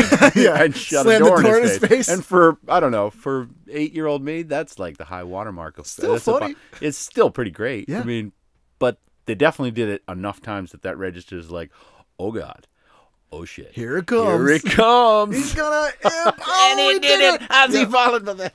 He was one of the first really unlike, intentionally unlikable characters I can think of in a show that was like the main character in the show is just a dickhead. Oh, yeah, he was right. nothing redeeming about him. He was always Yeah. an asshole to Well, everybody. he was the answer to Archie Bunker, wasn't he? Yeah, he had to be that much of a dickhead to combat Archie, I guess. Yeah. What was he supposed to be? A dry cleaning king? Yeah, he made all his money dry cleaning. Okay. Yep. That's Yeah. how he moved on up. Well, how do I even remember that? That's very important. Yeah. Is it? He's Yeah. he's a guy who I feel like lived by the edict, always dress like you're wearing a three piece suit, even if you're not. That's right. That's right. You had vest walk. Yep. Uh, the Alice episode is very special. Why? Because? Vic Tayback bets the diner on a horse. Oh man. He's got a gambling problem. Wait, who's Vic Tayback? He's uh, Mel. Oh, Diner. oh, okay. So Mel didn't leave or anything. He's no, still around. Uh, he was still around, and Is then Flo uh, still on the show? Flo has already spun off to her own series. She had her own series. She had her own series. Was yeah. it called Flo? It was called Flo. Yep. Huh. She moved back to whatever southern city she was from, and uh, Real opportunity was missed not calling that Kiss My Grits. Kiss My Grits is what it really should have been called. Definitely. You know who was in it is the guy who plays um, the the villain in the Police Academy movies and the one who's in Mannequin Proctor. Yeah. I forget that guy's name, but he was like her either brother or husband on that show on Flo. He was like the Ah, co-star. what was the spinoff? it, it was she moved back home to take care of her parents and like her brother lived in a trailer behind Already the seems like a downer. It was a real downer. There's Yeah. a two part Thanksgiving episode. Things get real. That's really depressing. Yeah. Could you set a story in a diner today? Still? I, Um, mean, I guess they have. I guess Two Broke Girls kind of is. Yeah, it's always different with the socioeconomics of early '80s television was a Yeah. lot more. Blue collar. Definitely, Yeah. it was a lot more blue collar. Right. Yeah. Well, because I think I always said that Roseanne was like kind of the last great blue collar show because now when we get shows about poor struggling people, you laugh at them. right. You don't. Yes. Everything's either aspirational Yeah. or whatever the opposite. well, Bob's Burgers yeah. is animated, but it's Yes. also it's definitely um, supposed to be like they don't have any money Yeah. in some way, but it's But it's animated and not not have any money. And I don't know how much they hard hard they hit it with the fact that they're struggling. They do sometimes because there's like they'll they'll they'll have like sp- like specials or initiatives to try and make some money or get people into the yeah, store. yeah, yeah. yeah. It'll be a little bit of a driving force, right? But it's not. This will sound odd to say about a cartoon, but it's Yeah. not cartoonish that aspect of it. Whereas if you look at something like Married with Children or Two Broke Girls, it's their their poverty is completely cartoonish. Like you're laughing at them sharing a lima bean because they don't have any food or something. Oh, okay. I mean, I can't say I've, yeah. I've seen enough of those shows to know like what Yeah. Oh, your what it means to. Oh, I for, hate Two Broke they're Girls. splitting. Yeah. They're splitting something that's. yeah, for- like it's just just unrealistically uh, Okay. silly instead of like an actual struggle. Like that, Right. I always love the show when the humor comes from you know it's people that need to make a joke because stuff's kind of shitty. Right. And, yeah, and. I do get that on Bob's. There's like a Yeah. lot of that family like we're making a joke because like this is a terrible situation. yeah, it's not great. Right. Yeah, yeah. Which it, it now that you've mentioned, it, it's odd that in order for us to be able to sort of get that kind of show, it kind of has to be animated. Right. People won't take it from live action now. They're like, oh, I don't want to see this. No, no, people don't want to. Yeah, You'll yeah. bum them out or something. Yeah, they want an escape. Everything's Yeah. kind of an escape, but maybe animated shows can still live there Because they way. can have that sense of they can have a step back from reality watching it. Right. Um, just by the nature of the fact that it's animated. Yes. Even though the storyline could be very, very blue collar and Yeah. struggle. Uh, yeah, that's that's odd. Now that I think about it, that mo- like King of the Hill. yeah. or something like that is very much that kind of show. That's like Right. a very, but they're like, ah, no, it's fine. Uh, this doesn't make me sad about my mortgage Right. because they're animated. I don't feel that bad about it. I'm not afraid they'll lose animated. Yeah, that's, uh, That's the worst stuff. thing that happens in Yeah. the animated world. They getting some turpentine. they go to the dip. Um, where are we on Monday night here? Monday, uh, yeah, so Jeffersons, and then Monday night, I think. Hold on a minute here. What? There's another ad for a really bizarre product in here. What is it? glass tree ornaments hand blown from St. Helens volcanic ash. Oh man, in 1980, I don't know. A lot of people know, but in 1980, um, Mount St. Helens erupted, Yep. and um, Some people I vaguely died. Did there were Yeah. deaths? There was some deaths. I had no idea I that there were deaths. so. Yeah. I just remember it being a big deal. Like uh, you know, you, you never get to see that sort of natural Yeah. world order. Uh, Who I don't think a lot of people, blow? but I think there was a couple deaths. Really? I'd have to look it up, and I'm sure someone will email. me. Mount St. Helens erupted, right? I think so. And then volcanic ash, and then what do they do with it? They hand blew it Let me see that. into uh, glass Christmas ornaments, which Oh, that's great. You should look- put these out in October because yeah, again, if You got to pre-order those. You want them in time for Christmas. I know. If Nana, Nana's like, okay, now I can, Nana definitely is like, I got so I got the grandchildren covered because I got them the chairs. Get a joint gift for uh, the for Yeah. the couple. I'm just gonna get the. I'm gonna get all those guys probably a glass tree ornament for the other guys. Everyone gets the same. Everyone gets the same, but that's really nice that they're doing. Yeah, you know, life gives you St. Helens ash. You just make ornaments. out of glass ornaments. when life's give you a volcano ash, you make glass ornaments. Fuck lemons. Yeah, life gives you. life gives you, uh, you know, uh, Natural a disaster. real disaster. You just make ornaments out of it. it's nice. Every single. These are nice. Fill 'em with hot Oh, Nana, lava. Thank you so much. She'd have to tell you too, because you. you just pulled out some black ball. She goes, "You know that's me- made out of St. Helens ash." That's made out of St. Helens ash. God bless those people. How many like Catholic grandmothers? I don't know if there is an actual St. Helen. Was thinks it's made out of uh, St. Helen's ashes. Gorgeous it's a, world. It's a reliquary. Gorgeous swirls of color, ranging from obsidian black to misty blue gray, flow around each three-inch ornament. No two are alike. A cherished historical keepsake in natural wood display box. Oh, Money Oh. back guarantee. Fifteen dollars plus one fifty shipping. That's not too bad actually. Less than hmm. twenty bucks for. Well, you know what's nice? You're not gonna get it is hand blown. Going to uh, Longview, Washington, so it is someone who really is in the. It's know, in Washington. they're collecting that right in their backyard. Pretty good. Oh, my fucking yard's total. I don't know why in Washington they talk. I don't know why. Everyone what am I gonna do with all everyone in Washington? Yeah, well, what are you gonna do? You got a bunch of everyone, no matter where we are, our talks like voices, our provincial voices are. What are you gonna do? You got a bunch of ash in your yard. What are you supposed to do? Hey, I moved out here last year from uh, from Boston, and now I got all my this. whole ashes. yard's covered with ashes, and then uh, my wife come up with this idea to make ornaments. So I'm like, all right. But you know that's a fucking go-to for everything. Put it on a tree, make it for Christmas, you know, whatever. But it works. Here's what I'm picturing: they get too many orders, they run out of ash, so they enlist this group of like bingo playing ladies to smoke cigarettes nonstop. Come on, ladies, collect them Come on, ashes. we got ornaments to make Come on, here. come on, come on, come on. Ash, put it in the put it in the bucket. You want to start bingo? You get at least four of them cigarettes smoked. then we can go with bingo. Uh, that's Sunday. Monday night, 8 o'clock. Uh, Monday, that's incredible. But Yes. I, I can't. I know that I watched it, but I can't remember anything about it. So, first of all, I mean, I know that I watched this like on the weekly. This would have been one that I watched on the weekly. this is a hell I of a like theme. it's a quasi like I remembered as like a like a, like a quasi news. It was a news magazine show. Okay. Uh, Real People was the rival show. yeah, I would have watched that that. would too. Mm-hmm. be very similar. Um, This on That's Incredible tonight, we have uh, scheduled. So things might change. They're just telling this is scheduled. Don't get upset Yes. if this isn't what it's on. What?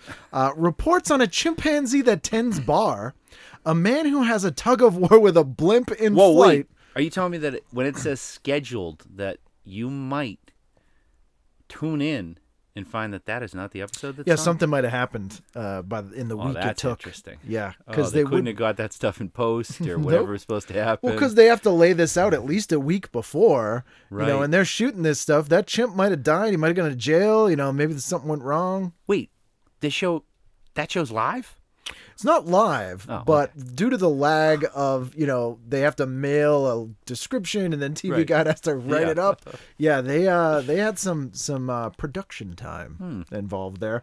Um, but I Wait, do. is it- uh, I'm already interested, and I might try to find Yes. track down this episode. You're telling me that that monkey is able to bartend? He's a bartender. It is a chimp that tends bar, Mm-hmm. a man who has a tug of war with a blimp in flight, a reunion of triplets who never knew each other existed, a five year old golfer, and a 1947 Cadillac outfitted for long distance, nonstop travel. I remember two of these stories. You do? The five year old golfer is Tiger Woods. You're kidding me. It absolutely is. And the, that is truly incredible. Yeah, it, it very much is, and that That's footage is online. It's him and his weird dad, who's like, "Yeah, my kid can do this." Uh, thing." Really? Yep. And the uh, oh man, I'm gonna find that uh, footage online. Oh, yeah, it's definitely of the guy with the blimp. You thought I was gonna say blimp. about That's also Tiger Woods. Uh, he's five years old and he took was that blimp.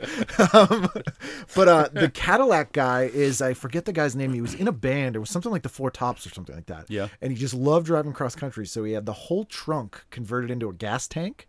So he could drive without having to refuel. But the thing they don't cover is he also used to wear a catheter when he was driving, so he didn't have to That's stop.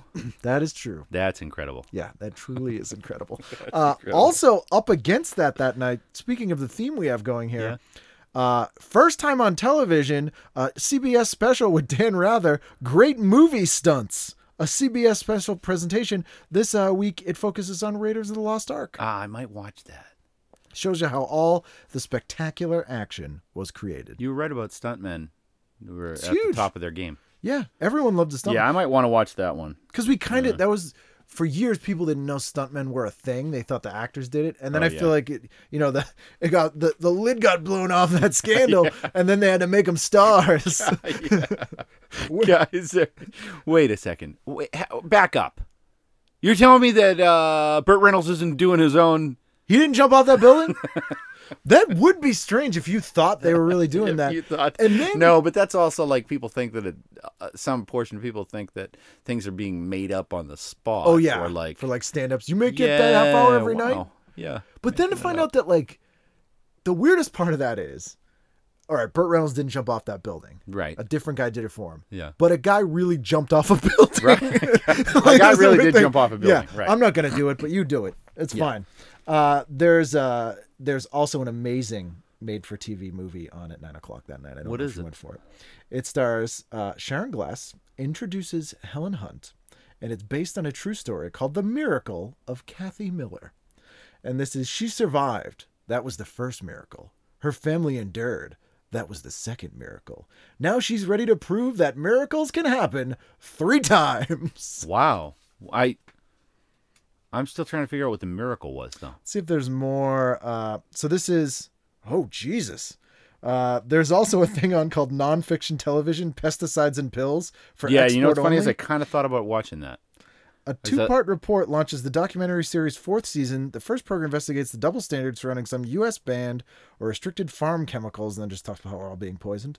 Yeah. Um, uh, I'm close glad. Hey, I'm glad we don't have to worry about that anymore, Ken. Yeah, totally done. Uh, I'm sure That that, is DDT's relevant. coming back. No, that is Yeah. Monsanto stuff is not Yeah. relevant. It's perfectly Don't worry. fine to spray Uh, and uh, anyone listening, you don't have to worry about nothing now, everybody. You It's are fine. perfectly fine. Who is the best person to put in charge of your health than businessmen?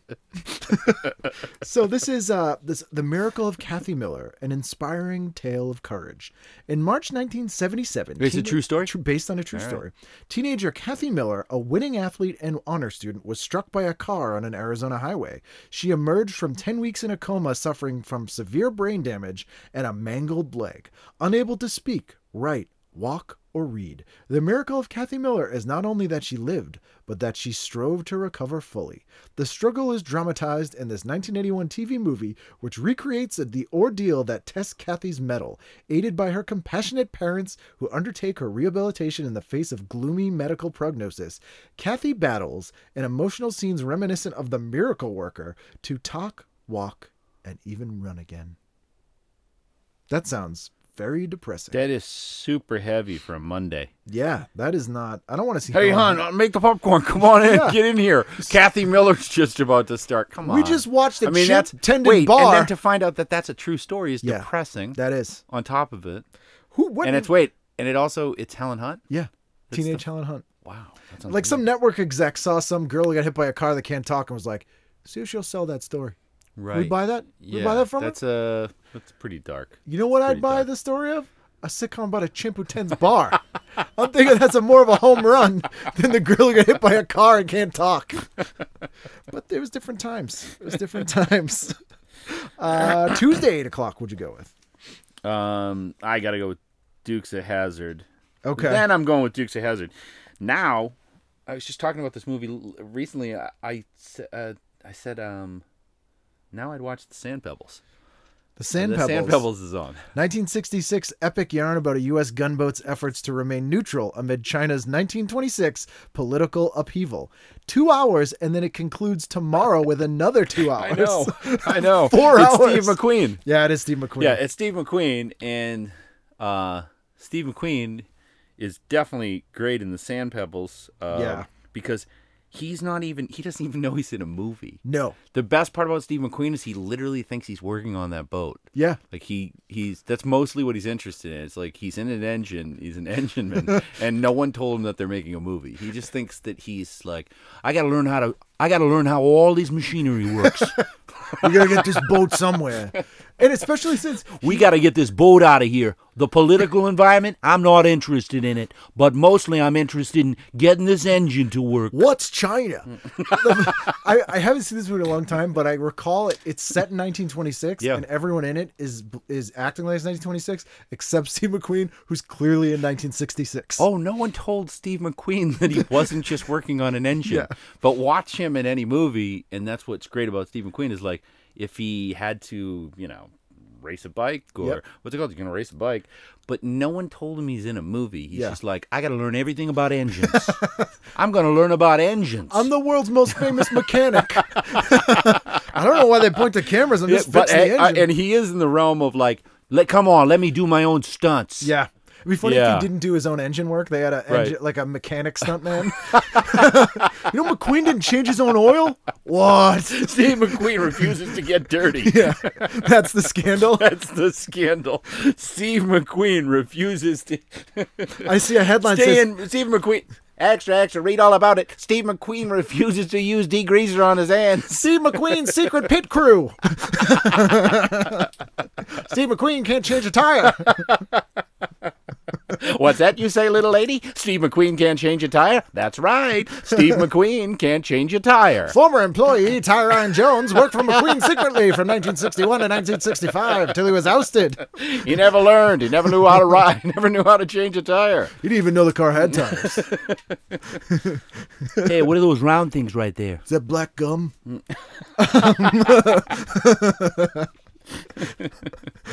Dukes of Hazzard. That's a given. I would. I would. Yeah. I would have watched that. Season four. Uh, this is when we still have uh, John Schneider and Tom Wopat before they were replaced by the Duke cousins. in Hold up, season they were five. replaced? Oh yeah, for two seasons. I couldn't have stuck around then Yeah. because I don't remember that. Either that or I blocked it out. Ken. Yeah. Well, That's they- probably still tough. They had a for me to contract dispute. They did. Yeah, but it was at the time when there was a Dukes cartoon series, and the fake Dukes did the voices in the cartoon series, and even kids knew that was bullshit. Oh my god. Yeah. I'm uh, just hearing about this now. I'm sorry to be the one to break this to you, but there were fake Dukes at one point. Yeah, they came in and said they were. their Hold up, you're telling me that the original Duke boys? They had stunt Dukes. That's right, Steve McQueen. I could drive that General Lee. Have you ever heard Dave Walsh's story about driving the General Lee?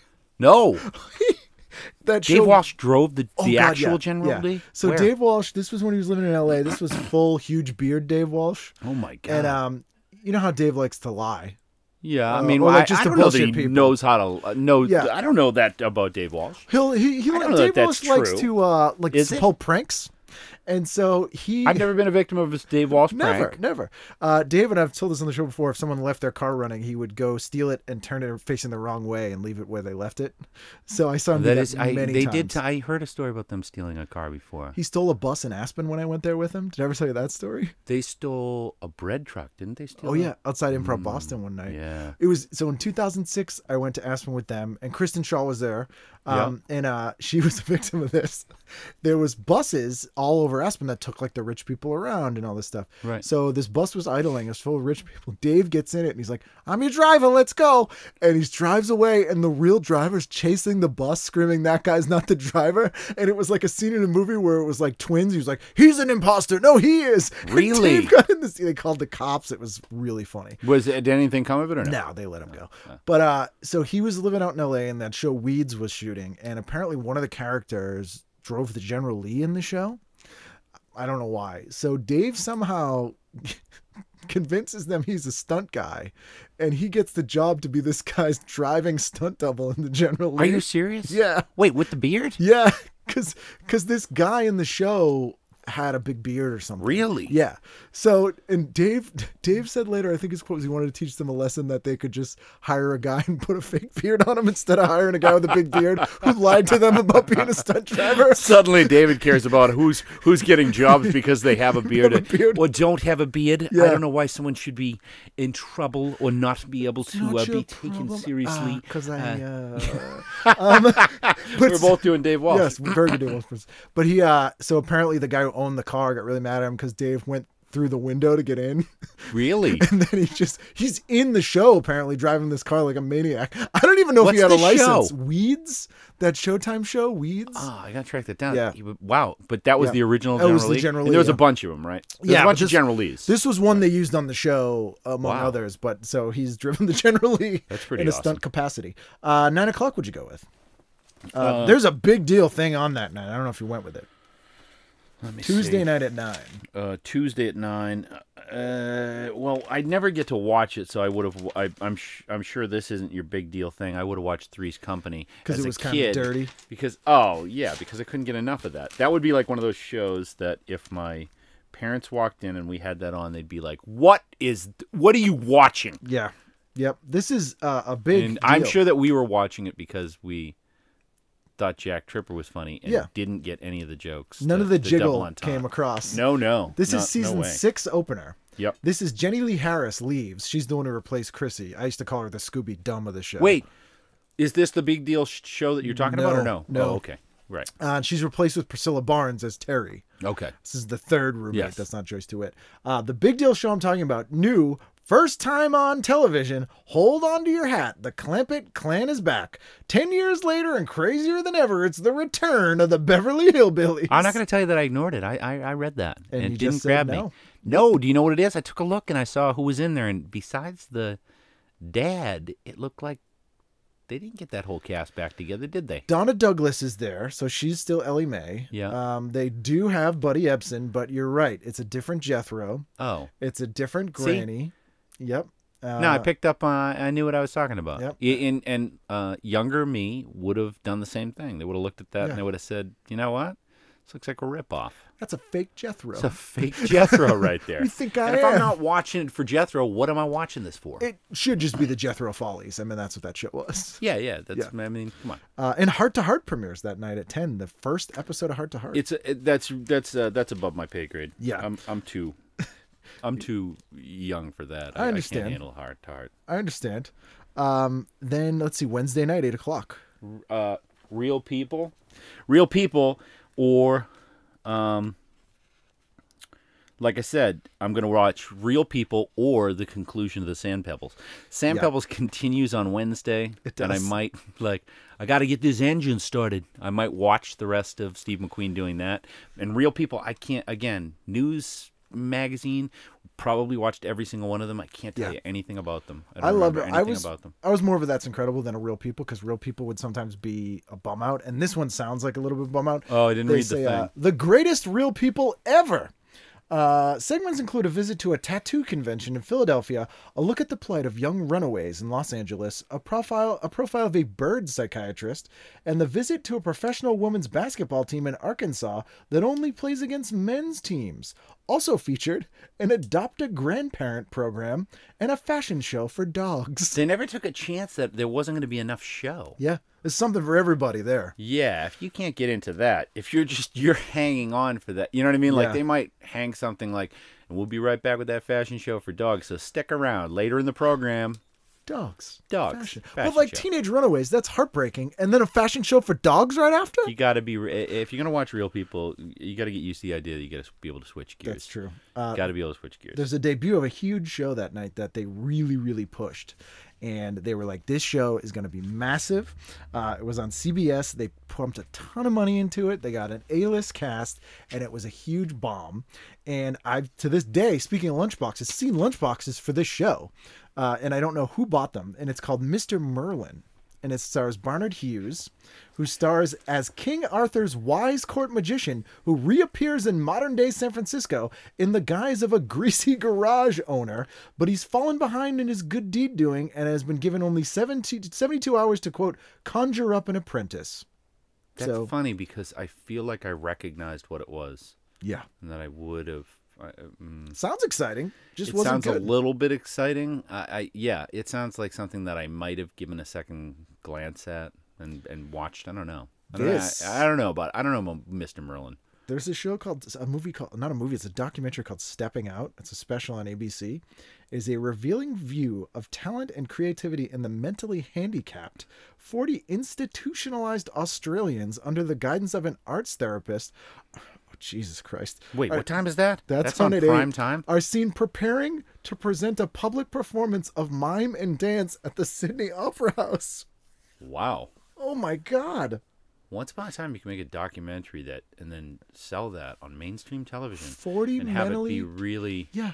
no, but have it be really specific, and it could find an audience. At eight o'clock on a Wednesday night. That's a big night. Yeah. It's it's And in October, yeah. that's a big night. That is a big night. Yeah. I can't imagine families would watch. That seems like a weird thing to watch. No, that's that's that's why you don't see any of those anymore. Yeah, You that don't did see not do shows well. like that. Um, nine o'clock. Would you go with? Um. Oh. So well, you- I would have watched. No, I- see, I would have watched. I would have had to have watched WKRP. Yeah. So you're not watching if- the second half of Real People. No way. I mean, I, if the dog fashion show happens early, I'm sticking around. But Yeah. if it doesn't, I'm gone. Yeah. And I'm on WKRP for sure. This is a very special great. season opener. A terrorist bomb threat during a visit from the station's former receptionist forces the staff to take emergency measures. First of two parts. You know, always with the two-parter. Yeah. Yeah. No, a- a- endlessly great show, endlessly funny, and weirdly, one of the shows that I've seen more recently on Hulu. And Yeah. I'm like, wow, I can't believe how good this still is. The writing is still great, and the cast is great. Loni Anderson's so good on that show. There, uh, that's funny that I think that. uh Bailey. Yeah, she's the greatest. Yeah. and uh, she's the greatest, and also, uh, Howard Hesseman. I like Tim yes, Reid. Yes, Yeah. yeah. Venus Flytrap. It's all great. Uh, all of it's great. Herb Tarlek, Yeah. and Les Nessman, Les and, uh, it's excellent. And Gordon Jump, Gordon Jump. is great. Yeah. Yeah, that Yeah, is a show a that I definitely watched all of whenever it was on, and I feel like that was probably on at an early. I probably wouldn't have seen it when it was on a Wednesday, but it would have been something that later in life I Like would have watched all of. At, oh, and reruns. Yeah. Yeah, definitely. They it was so popular. would have been on at like five or five thirty, Yep. and I probably would an have hour on WLVI. Yep. Uh, they were so popular in reruns that in 1989 they did a new WKRP.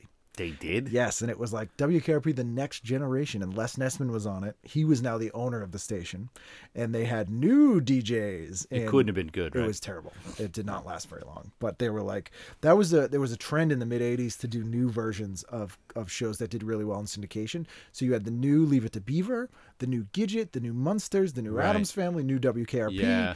And uh, none of them really did very well. Well, that same idea that holds true today, which you said, oh, they're making a movie of that. I mean, Yeah. I've, I've heard them say that if a product has any anything, any sort of recogni- any sort of recognizable quality, means that they would be more likely to make a movie or a television Oh, show yeah. from it. yeah, it's a proven commodity. right? Yeah. A proven commodity, right? Did Bob's ever do a two-parter?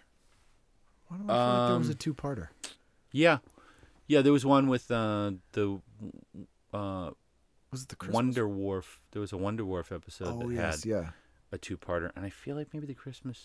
Because I remember that being feeling like that was weird because you never get two parters now. Yes. Yeah. And I was like, oh, Yeah, and um, and I don't know when this will air, but next year we're we will have in December, uh, Christmas. I think there'll be an hour long Bob's. oh, okay, musical element and uh, whatever, but I think that'll be the that'll be a first. yeah. I don't know if it'll play at one time. No one really discussed. Could that be a part of it, but two-parter, but it might it not could- be. I don't think. It will, Yeah. I feel like it won't be a two-parter. I feel like it will be a one-hour Bob's Burgers. Like that. I think. I'd believe it. I'd believe good, it. yeah. I do appreciate how much that show does things like two-parters and sort of classic. Always does holiday episodes. Yes. Like goes out of its way to do holiday episodes. Yeah, which they're is all, always it's nice. really funny. It's really funny that we record those episodes, and um, you know, you'll post something on social media, and people won't really understand that it's about a year. Oh, yeah. time that where People we do a recording.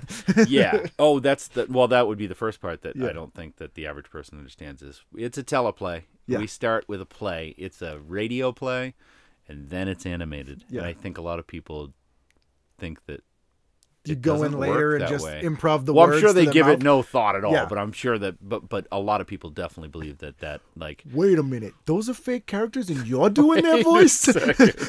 you're Hold like a up. voice stunt man. Hold up a. You're like a voice. Wait a second. That's right. I'm a voice stuntman. You know what I just pictured is if a character in a cartoon has a stunt, Yep. the person has to draw them slightly differently because they're actually drawing a different character doing the stunt. Like, no, that's a stunt. It's a different. It's a union guy. thing. It's a different guy being thrown through the window. You freeze frame, it's actually a guy in a wig. You'll see he's about thirty pounds lighter. Yep, that's why I don't run a show because that's the kind of thing I'd waste time on. Um, yeah, I would absolutely watch that, and then at nine thirty, I got to go Facts of Life. Uh, well, you're jumping different strokes. I am. I'm watching, but eight thirty. That Facts of Life's not on until nine thirty. That's right. I, I would watch Different Strokes, but I'm You're ashamed. gonna watch all those. I'm gonna watch Different Strokes, and then I'm gonna watch Facts of Life. Uh, this is a boring Different Strokes. It's about Arnold having cavities, which was the same season that Arnold got molested by Jordan. What you talking uh, about, Gordon dentist? Jones. Yeah, talking about dentist. Here's, here's some candy. Uh, Facts of Life this night is a boy's lies about his date with, of all people, Natalie, uh, has her reputation in shreds and the phone ringing off the hook with eager offers from other boys. Really? Yep. Wait, how far into that show are we when they're Season giving? three. I'm surprised to hear that. Yep. Well, the next season, I'm it- tuning in to watch Joe. Yeah, they brought Joe in in season two Okay. after they ditched Molly Ringwald and all the others. Um, I couldn't say I remember any of that. yep, there was I when it was Joe. set in the school.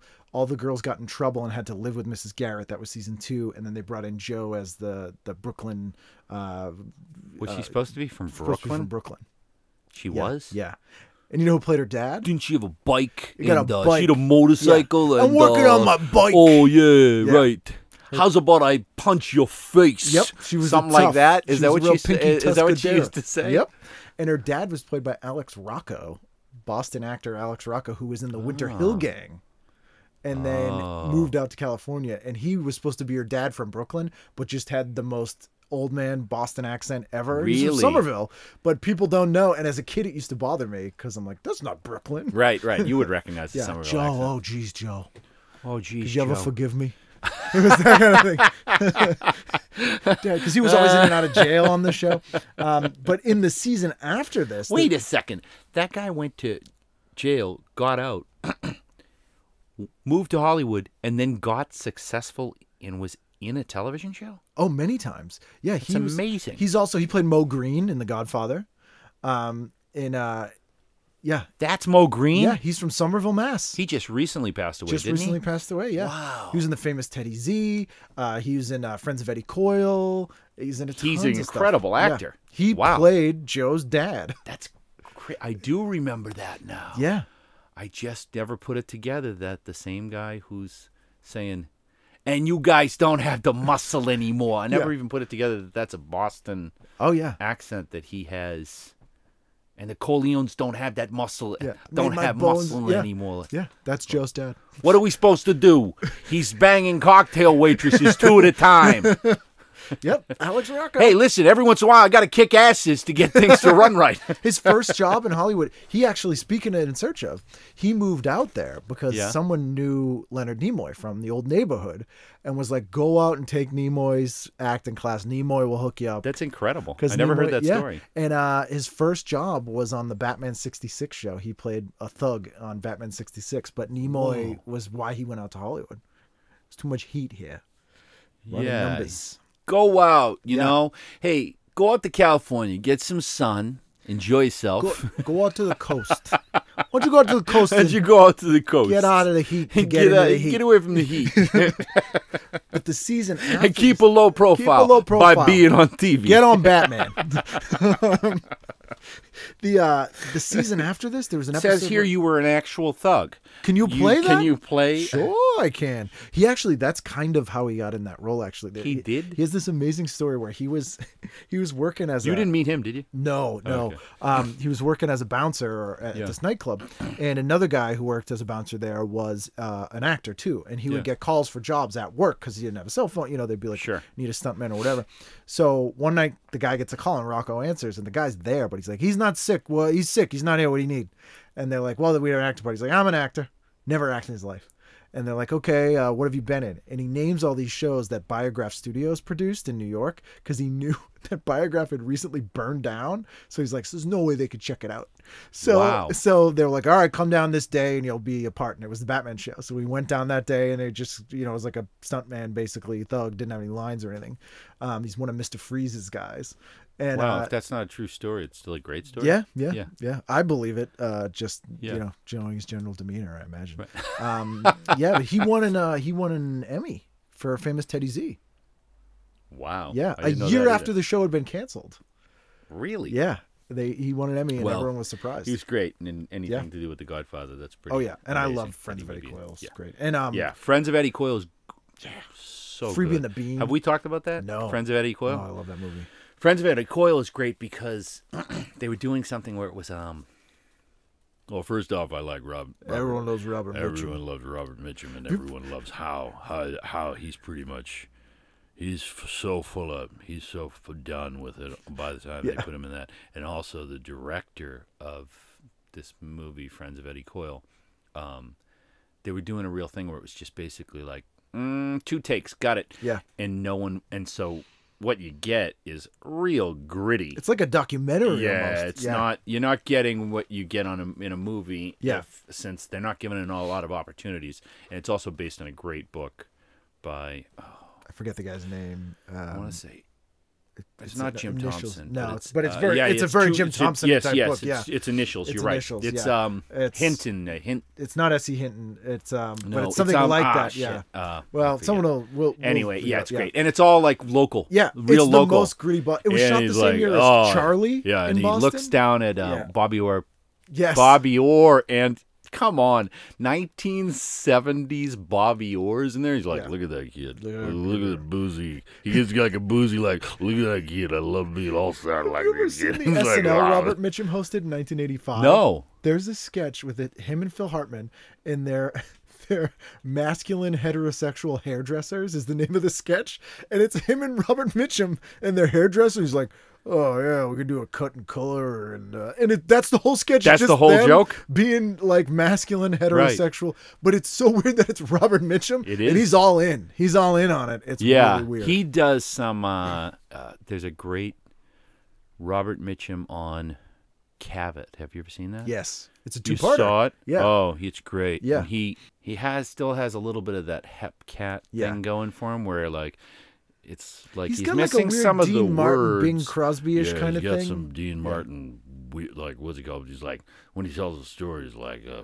he's like, uh, you know, and then he got up, and then he, and then I sat him down. Yeah. Like some kind of like. But then he's gonna go, blah, He's blah, like, blah, and he blah, blah. wanted to say, what- he wanted to say something, and I made sure that he didn't say anything else. His Like he's like talking crooked. about yeah, talking about beating someone within Yeah. an inch of He their was a life. big dude. Like those guys were like he does He went to jail for real, right? Yeah. For was that just for Right- marijuana law? yeah, Was it? Yeah. It was marijuana, but it was right around the time that he did Cape Fear. For, oh yes, right. and he did Night of the Hunter. Um, Oh yeah, where he's right? got the the, the Yeah. knuckle tattoos. Yeah, there's Yeah. he's great.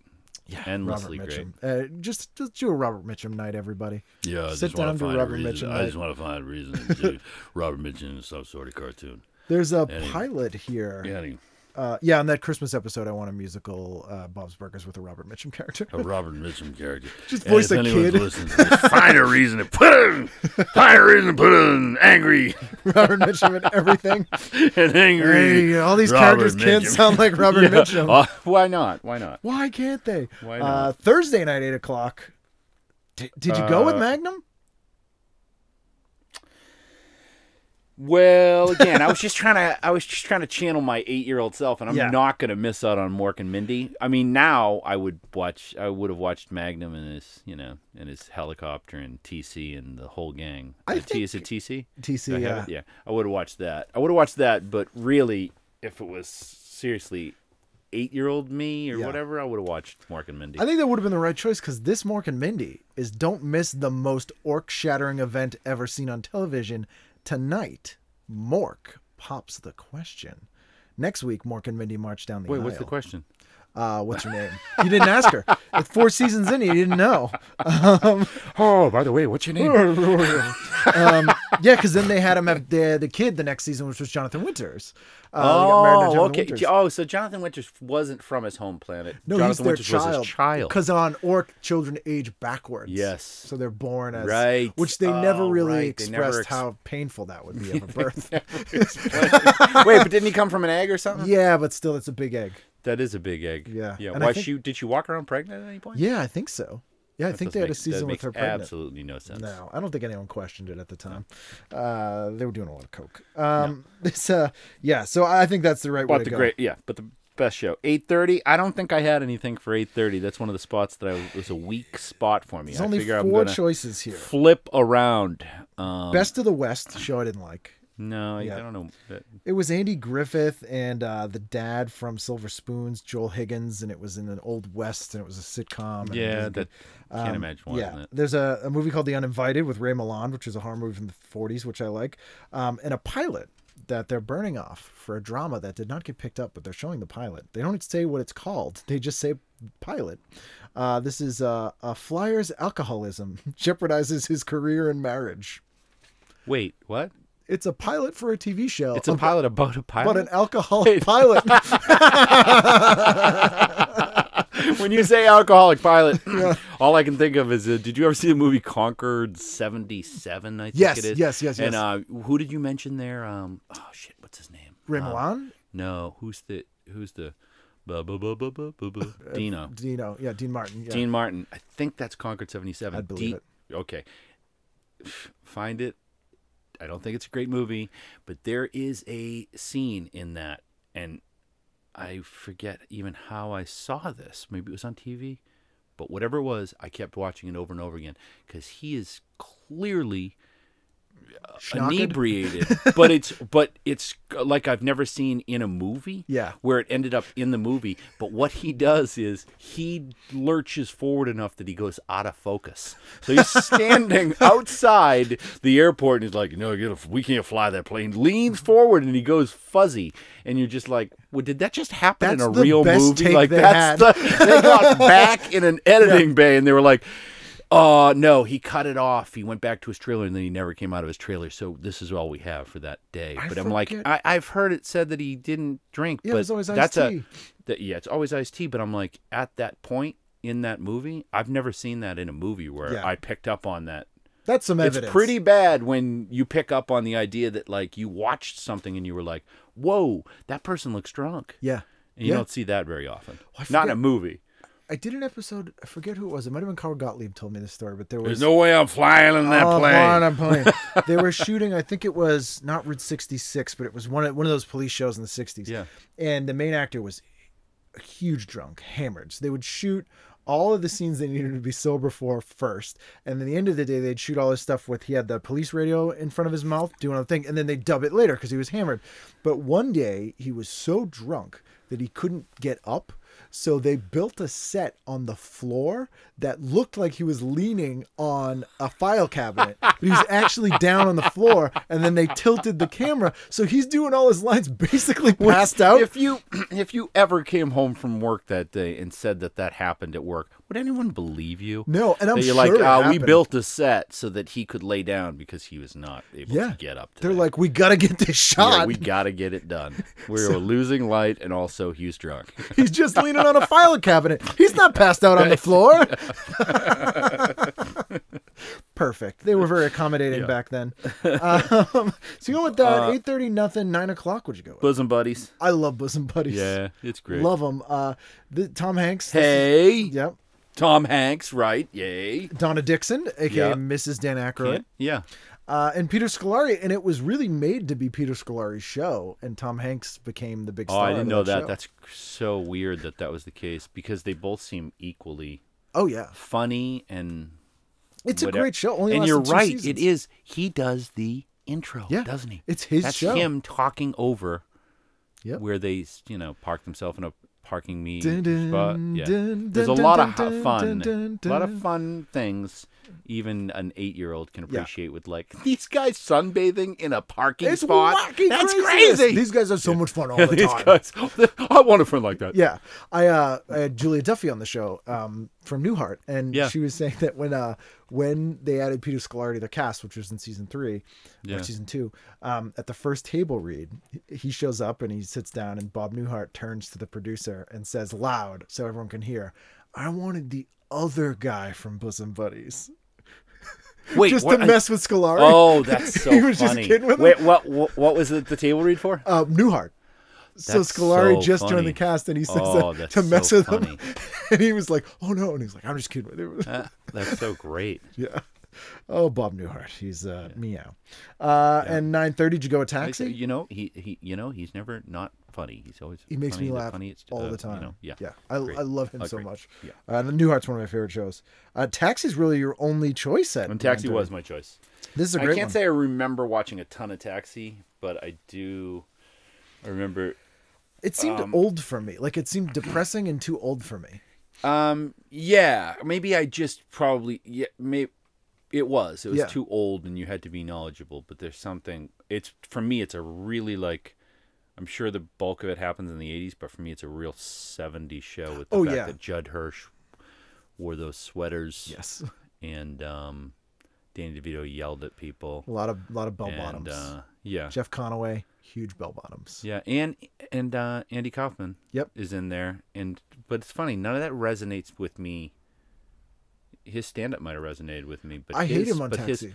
yeah, his him on Taxi. I don't remember even caring about that. Uh, that He's what I liked when I was all. a kid because it was silly. Yeah. But when I watch it now, it gets in the way of the stuff that I like. right was he? Yeah, exactly. Right. Yeah, Because it's, not- like it's a show about the the thing I love about that show is it's the best show, thing is Jim. Jim's great, and it's a show about people who are doing a job. There that this isn't my real job. Job. they That's all have aspirations. They're a boxer. They're an actor. They're a writer. Everyone wants to they're be all something. something yeah, else. that- yeah, and yeah. it's the first show I can think of that had that aspect Yeah. to it, where they're just sad people who aren't doing what they want to be right. doing, Right. and it's a great weird concept to have that as a thing. It feels really timely to the times too. Like Yeah. there's a real malaise kind of thing going on. and it's got that dirty, scary New York. Yes. Even though it's not shot there, but it still has Yep. that vibe of like a grimy, like you're gonna get murdered by the son of Sam. Yeah. At any moment, Yep, kind that of can New York. happen.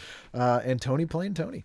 Uh, that's just Tony playing Tony. Right. Uh, yeah. Tony, Tony, Tony. And Friday night, final night of the week. Oh, okay. Uh come on, 60 minutes of Incredible Hulk. Yeah. Yeah. Every week we're So Incredible great. Hulk guy. Yes. Um, every single week. every single week saddest ending. Yeah. Come on. Dun, dun, dun, dun. bum, bum, bum, bum, bum. Uh, this episode and I also used to I just used to love that every single time he would act like he I feel like maybe it's just me misremembering it, but how he would be like uh, I'm sorry, mister, what's your name? And he would always I don't know, find his last name and I'm like, Yeah. uh, buddy, just uh, Stick with stick one. with the idea that you're going to come up with a fake name and don't be like David microphone. Bun David Bundleman. Yes. Dinston. David Bundle. Hitchhiker David truck. I'm sorry. What was it again? What did I say? What did I Uh, say? let- Hitchhiker truck. Hulk. Just truck. Truck. My name's David Hulk. Truck. Yeah.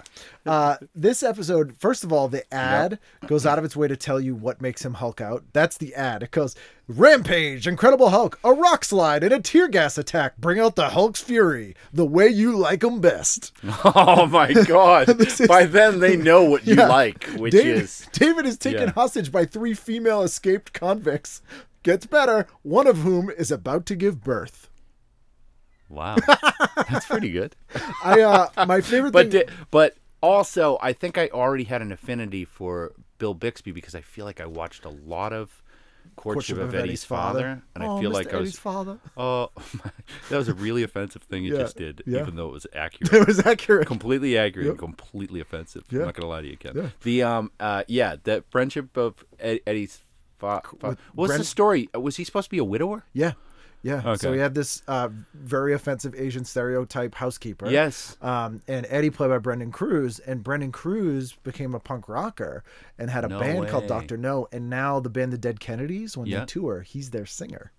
Wow. Yeah. That's incredible. Yeah. So if you go see the Dead Kennedys, it's Eddie from the Courtship of Eddie's Father singing. That's inc- that's so crazy. And what year was that on? Uh, 75 to 79, I think. I feel like I saw plenty of that, Yep. and I Yeah. think that I had a real soft spot for Bill Bixby. yeah. He seemed like a nice Um, guy.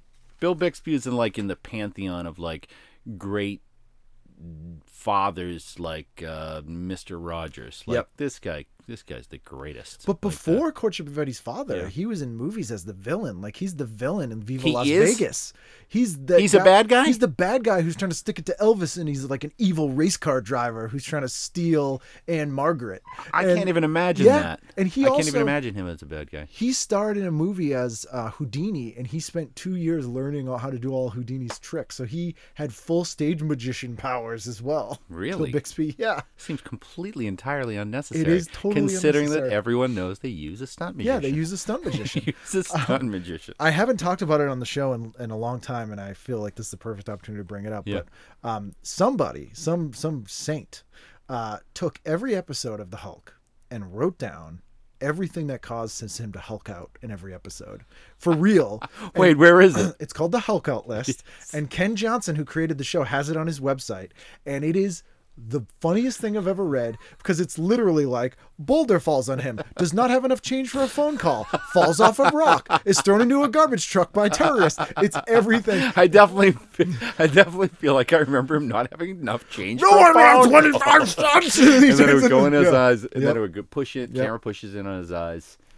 Yep. Yeah. because he didn't have enough change for a phone call. Yeah, the Hulk Out List is infinitely amusing, and it's every episode, everything Oh that my causes the gosh, Hulk it's out. so great. yeah, it's it's a it's a public service this person did. But it always ended sadly, and uh, again, it's definitely in the realm of a show that I was allowed to watch too early because people just again assumed like same thing with like it's, books. dinosaurs, it's Yeah. comic books. Yeah. How bad can it be? Yeah. but way too much emotion going on. In Oh, that yeah. show. yeah, Yeah, he's a sad character. And completely. Did I ever tell you the story of my my second birthday with the Hulk? No. So I watched the show, um, terrified of the Hulk, but I watched because I love the comics. Uh, my second birthday, my parents somehow misinterpreted me being terrified of the show as me loving the Hulk himself.